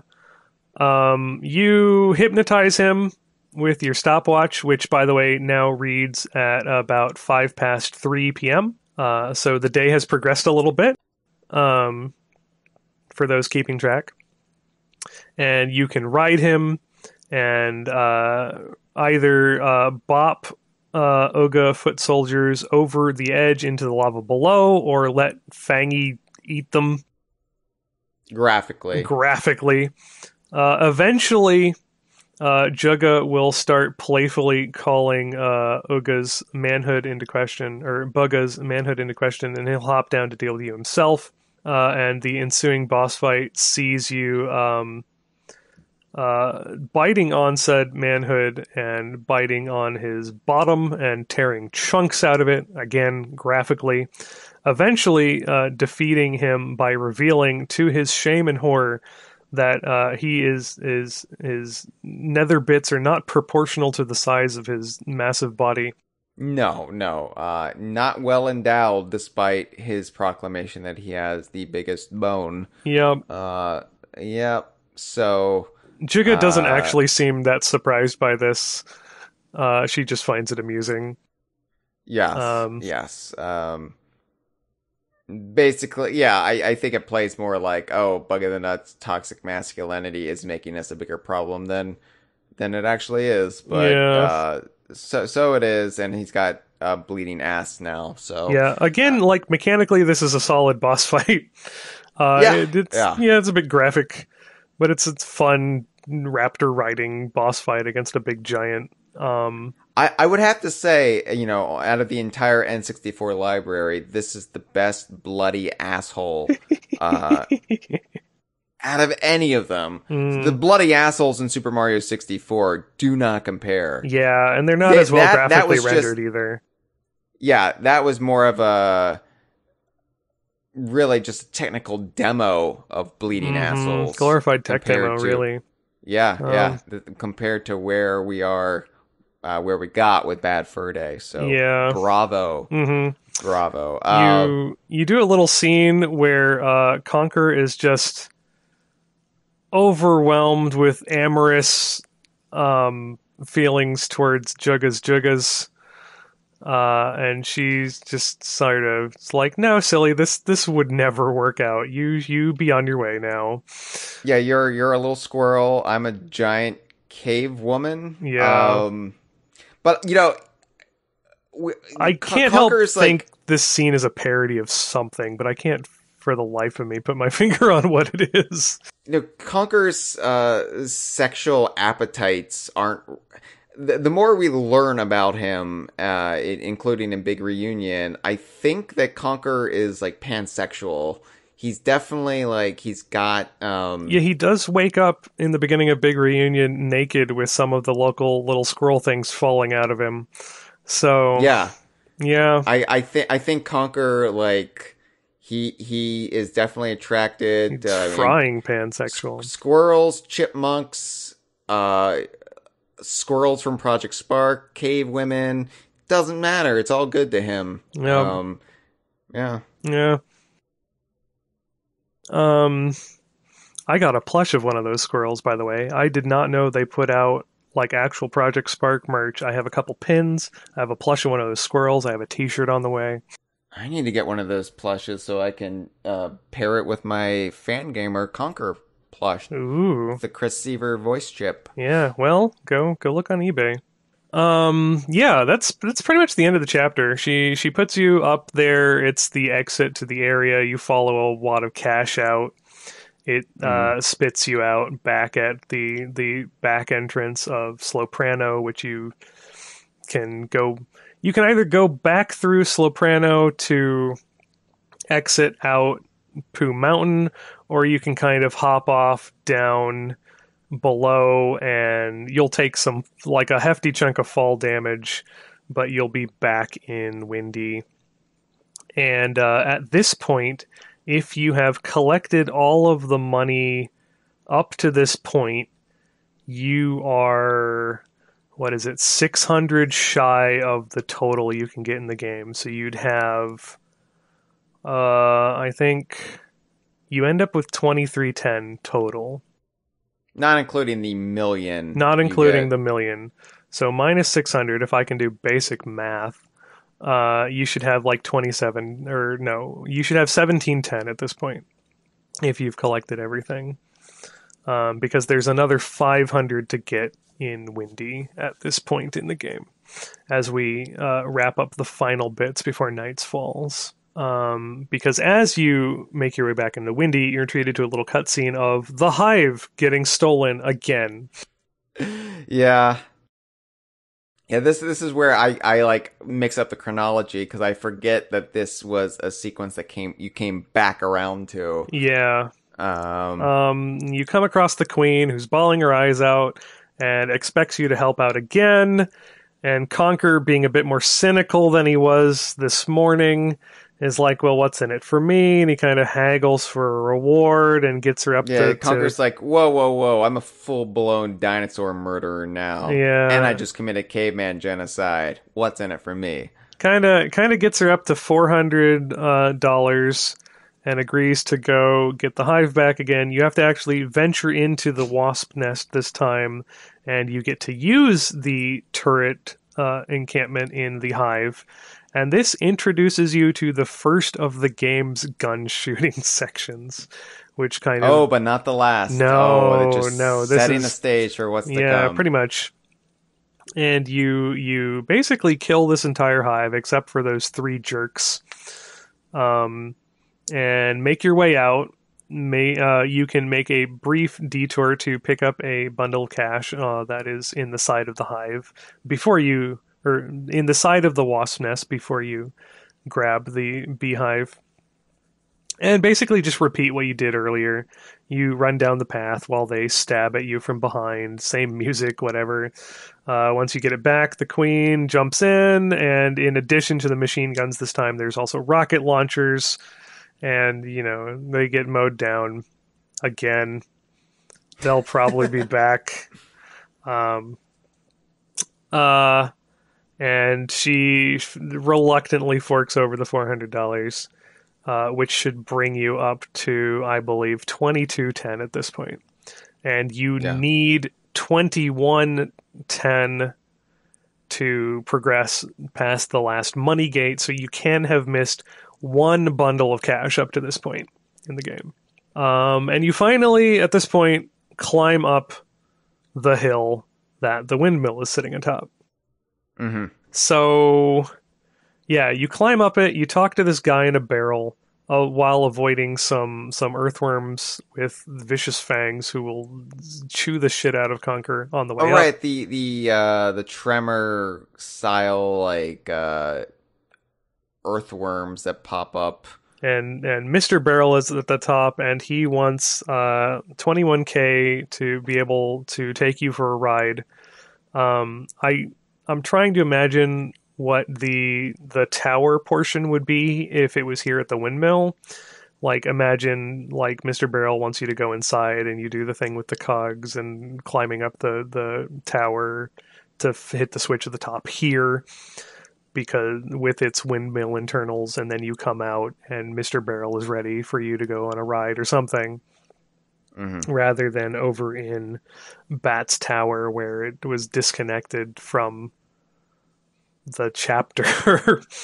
um, yeah, I don't know. Either way, you fork over the money. Conker's kind of confused, gets up on Mr. Barrel. You ride him down, killing all the earthworms you just avoided along the way. Uh, Conker loses his balance. Mr. Barrel goes careening off, breaking through a barrier that was uh, blocking some of the river flow earlier. And Conker passes out, and night falls.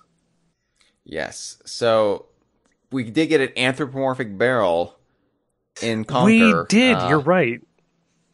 Another Donkey so- Kong universe tradition. Well, is is Mr. Barrel the? I guess Belcha would be the first anthropomorphic barrel, unless Well, you're including he's- like Dumb Drum. I don't know. Like, is he an anthropomorphic barrel or is he guy in a barrel? Because like the eyes are peeking out from under the lid of the barrel. It's unknown. It's ambiguous. Uh, what Mr. Barrel is, if he's a barrel or if he's uh something in the barrel, but That's Uh, fair. either I way, guess. Either way, I love and, and barrels came back in big reunion, not Mr. Barrel, but yeah. uh, there's a whole sequence with barrels that actually directly references Donkey Kong. So hmm That's true. yeah. And of course, in the next episode, we'll talk about the TNT barrels uh, that that come into play. So, Yeah. uh, But yeah, that wraps up the daytime chapters. Yeah, this this is actually the only like time uh, in the game where we have like a jump where like Conker passes out Mhm. and thing things aren't continuous. So we've got like a a, a leap ahead as far as Yeah. uh, time goes. So we get later at night, and yeah, Mr. Barrel has inadvertently, in, in true Donkey Kong Country styles, opened up a secret passage, but not to a bonus area, but to Hell on Earth. Uh, Conker's ancestral home, as it turns out. Uh, yes. Uh, so we got a call to take, and Ooh, then we ooh, will wrap it up. Yes, let's a call on the topic, uh, and then we'll discuss our final thoughts on Daylight. Okay. All right. Hi, how's it going? I watched the newest Kongversation video about Conker's Bad Fur Day. Um, my name is Jake. I don't know, whatever. um, I, I just want to talk about Conker's Bad Day and how it's like one of those games that really like it just goes out there and beyond everything, like as a game. Um, I remember when I was 12 back in like 2013. I, I was born in 2001. Um, I discovered a playthrough of it by PewDiePie and I watched like one episode of it and immediately the game clicked with me. I liked games like Mario 64, Mario Sunshine. Um, I had just gotten a copy of Banjo Kazooie for the Xbox Live Arcade around that time and I absolutely loved that game. And you know, Conker was um, more or less it was kind of like an enigma because a lot of my friends didn't know about it. Um, and not to mention, you know, it's it, it, it's an old game. But um it, it's kind of like the um the hidden gem of the Nintendo 64. I'm sorry if I'm pausing a lot. I just I don't know how to describe that game, but I just think more people need to play it, I- experience it for what it is, rolling those balls of poo and you know witnessing uh Buga the Knut. it, it, it's fun watching the podcast. I greatly enjoy you guys talking and everything. Have a good day. Well, thank you for the call, Jake. You got it Yeah. in like one second before the cutoff. that that's impressive work there. Nice. Uh but yeah, so he mentions like Conker's Bad Fur Day, the hidden gem of the N64, and that that that I that's I guess a good way to describe it because it's a game that underperformed significantly when it came out Yeah. and grew in legend and stature uh, to the point where I think it's considered like a one of the classics of the N64 library. Yeah, if it's con- frequently like, on in top 10 lists. even if in a, in a contemporary sense, it really wasn't. I mean, mo- a lot of people moved on from the N64 by that point, but uh, you know, the GameCube came out later that year. It but is. It is the um, Donkey Kong Country 3 of Rare's N64 output. Essentially, yeah. But you know, w- when you have enough years, um, adding stacking on top of that, uh, historical trivia like that doesn't matter as much and people just view it as a product of that era. Yeah. Even, you know, it, it really does feel like a different era though. I mean, it came out in 2001, March 2001, which was already very culturally different from 1996. Uh, the beginning of the N64. Like five years had passed and a lot can change in five years. So Yeah, look at look at uh, Diddy Kong Racing near the beginning of the N64's lifespan, and Conker in that versus Conker in Conker's Bad Fur Day at the end of Sure. the N64 lifespan. Sure. I mean, yeah, if you want to get literal and specific like that, yeah, sure. Um, yeah, but, um, yeah, it's, it's been fun for me as uh, someone who's been, you know, the co-founder of DK Vine and essentially, uh, one of the editor in chiefs or the editor in chief, uh, for most of the tenure, uh, since Conker came out to now, 20 years. Uh, it's been I think a, a joy to see Conker being mostly uh, ignored and underperforming to it rising in the ranks and in people's esteem since then. And um, I mean, that's really been the case of really like all of this shit we talk about here on DK Vine. Because even like the early days of DK Vine really butted up against that whole like actually the Donkey Kong Country trilogy is overrated kind of hot take uh, period where we just denigrate like all of Rare's output um, on the on the the Nintendo consoles. And then then we eventually come back around and was like no wait those games were really good. And, and here's uh, the th- our third take on them. And, and now now we're in that comfortable place where uh, they're all considered classics, and we we can just uh, leave that be. You know, we we we've gone through the whole. We're gonna tear down the idols of the previous decade, and, and now we're gonna build them back up out of you know in this nostalgic shrine, and every, everything's fine now. We didn't need to sacrifice any dinosaurs to that shrine, so. Mhm. But yeah, and it's been it's been even weird to see like like again, I bring up you, Gibbon, uh, you the the the Mario versus Donkey Kong uh, poster on the DK Vine forum to see you become a Conker uh, a fan. Yeah. Yep, that is a thing that happened. and after Bats replaying Bats Tower for this episode, you're questioning that. Uh, no, as I as I said on Discord, like I there were some parts of the game that frustrated me a lot. Um but they're vastly outnumbered by the parts of the game that are good and even great. And I think overall it's uh, a rather good experience and I don't don't regret being a fan of it at all. So, yeah.